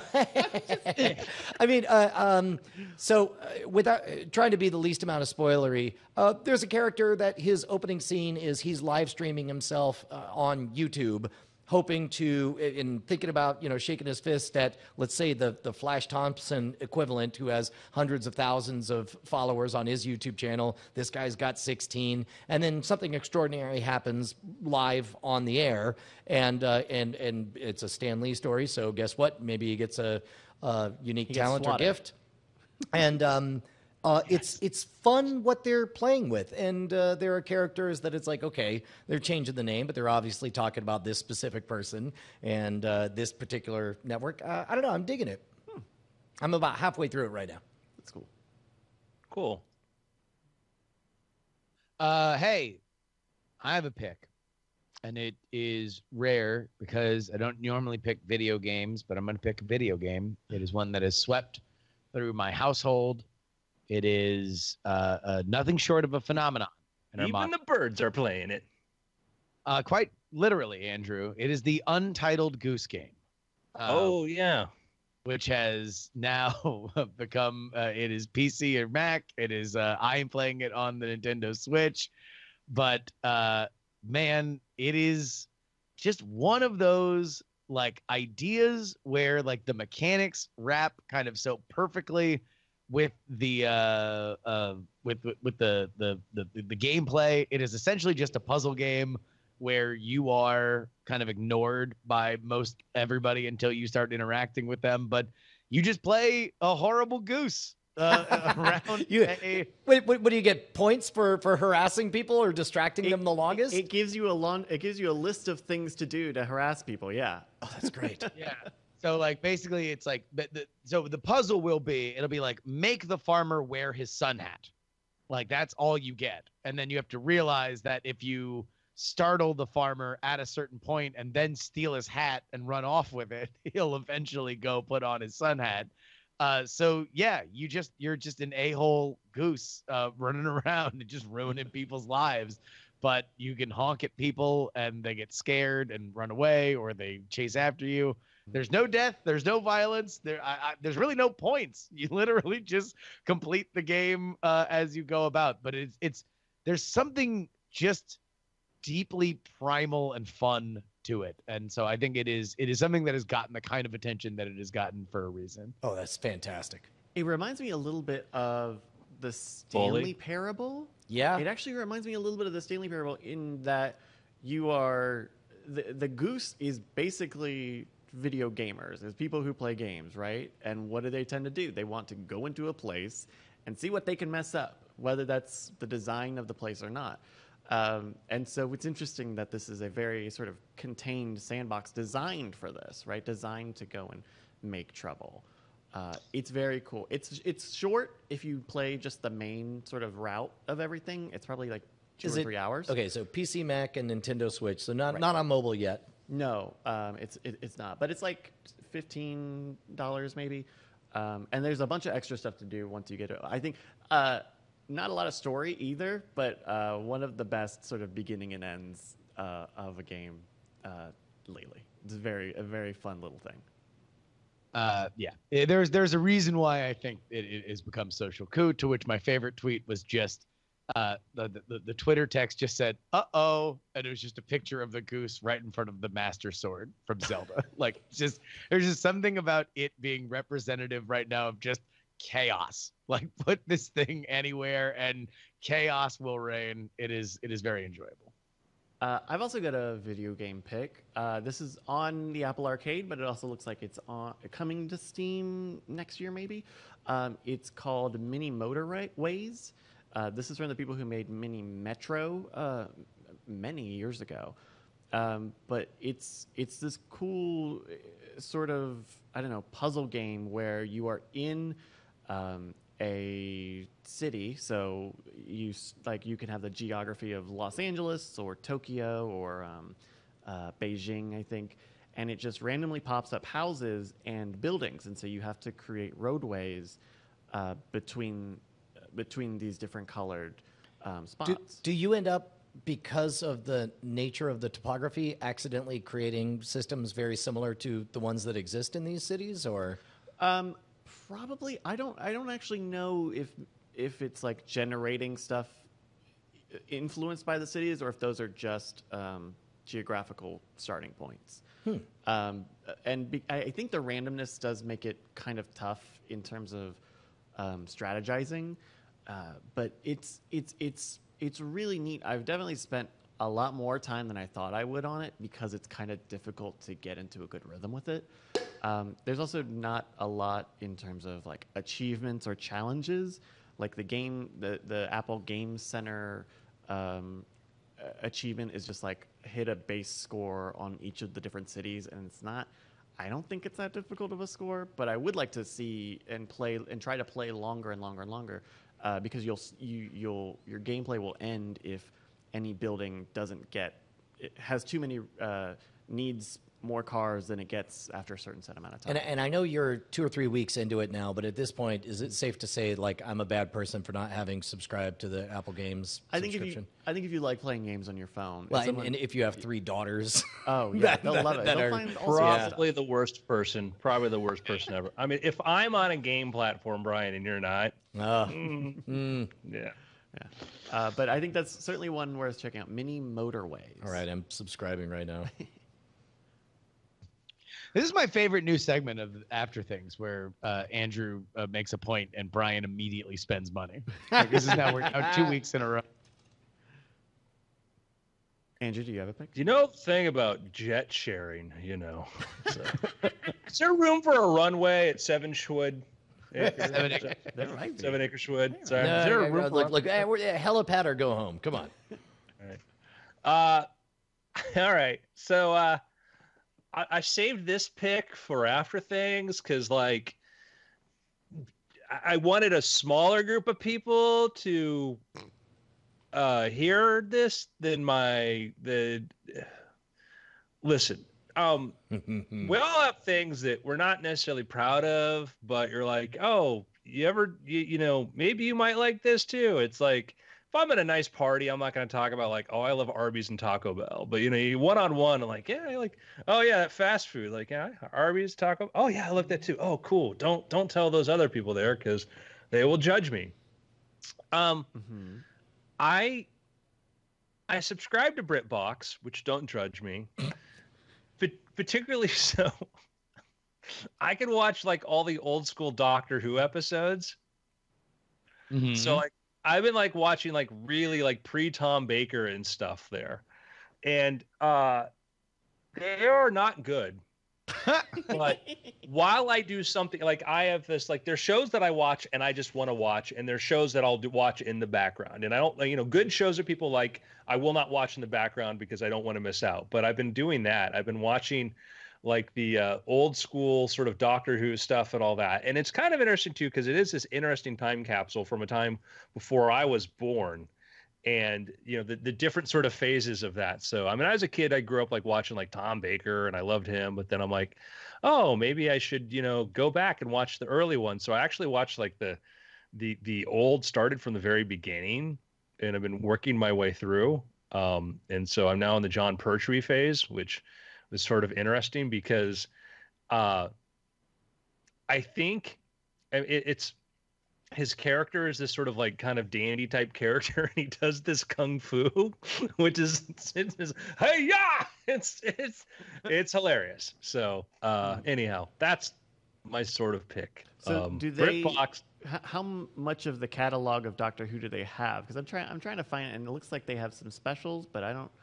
Uh, they go up to like uh like sylvester mccoy you know? So it's they because they, remember they brought back doctor who ended in 1989 then they brought it back they tried to do like the, sci fox tried to do a version of it in like 96 and then doctor who effectively on like british british doctor who went away for like 25 years right? Oh. and then we got came back with christopher eccleston. So you know this was a show that started back in 1963 um so it goes back from like the William Hartnell and you get the Troughton, the Pertwee, the Tom Baker, Davison, all that stuff. So, you know, and the, and I remember like there was the fake, this guy like that looks like Tom Baker, but he's not like Tom Baker, but it's got a name of him was Colin Baker and that. So, Hmm. anyhow, they call There it you go. classic Doctor Who on here, not just Yeah. Doctor Who. so that's my pick. Uh, you know, I, I want to find out too, because like the, this character, like the, the Jon Pertwee version of him is he feels like a bit like almost sort of a Roger Moore character. I'm like, could it? I couldn't have been from the James Bond because Roger Moore's James Bond didn't start start till after that. But I'm looking back, like Roger Moore was doing the Saint, and I'm just sort of wondered if sort of he's sort of trying to be a Roger Moore esque character. I don't know, but anyhow, there you go, folks. Just bared it all out there for you. There we go. So His- his- courageous. his British soul. Yeah. Yeah. All right. It's been after. Hey, there we go. All right, everybody. Well, that's going to do it for us here for uh, Weird Things and After Things today. We'll be back in a few hours with Cord Killers, coming up here. Uh, Justin, any streams coming up today? Uh, no, uh, no, just record more stuff. More Merrick's Next Top Podcaster. Nice. Uh, Andrew, still still typing away. I am gonna. Well, I found out that the book that I thought I had to turn in uh, tomorrow, I have another six months to do because uh, uh, my my publisher said, "Oh no, we changed the because I've we changed the publishing calendar." I'm like, next time, tell the author who's been panicking. Uh, I mean, look, Uh, admit it, admit it. You're glad you got the work done, and you're glad you don't have to worry about it for a while. Oh, I didn't get anything done, so. It's, it's, uh, no, I, I needed. The, yeah, I I'm glad I have the relief, but uh, I have a new book coming out in uh, just a couple weeks, and that is the, the Dark Pattern. And so I'll be probably doing a lot of live streaming and stuff talking about it. I'm super excited about Dark Pattern. So Sweet. it's very dark, Oh, very dark. is it pattern? Maybe. Maybe. Don't want to spoil it. Oh, oops. Ooh, excuse me. All right. Well, we'll be back here with. All right, uh, love you guys. Bye, y'all. But, Sunday.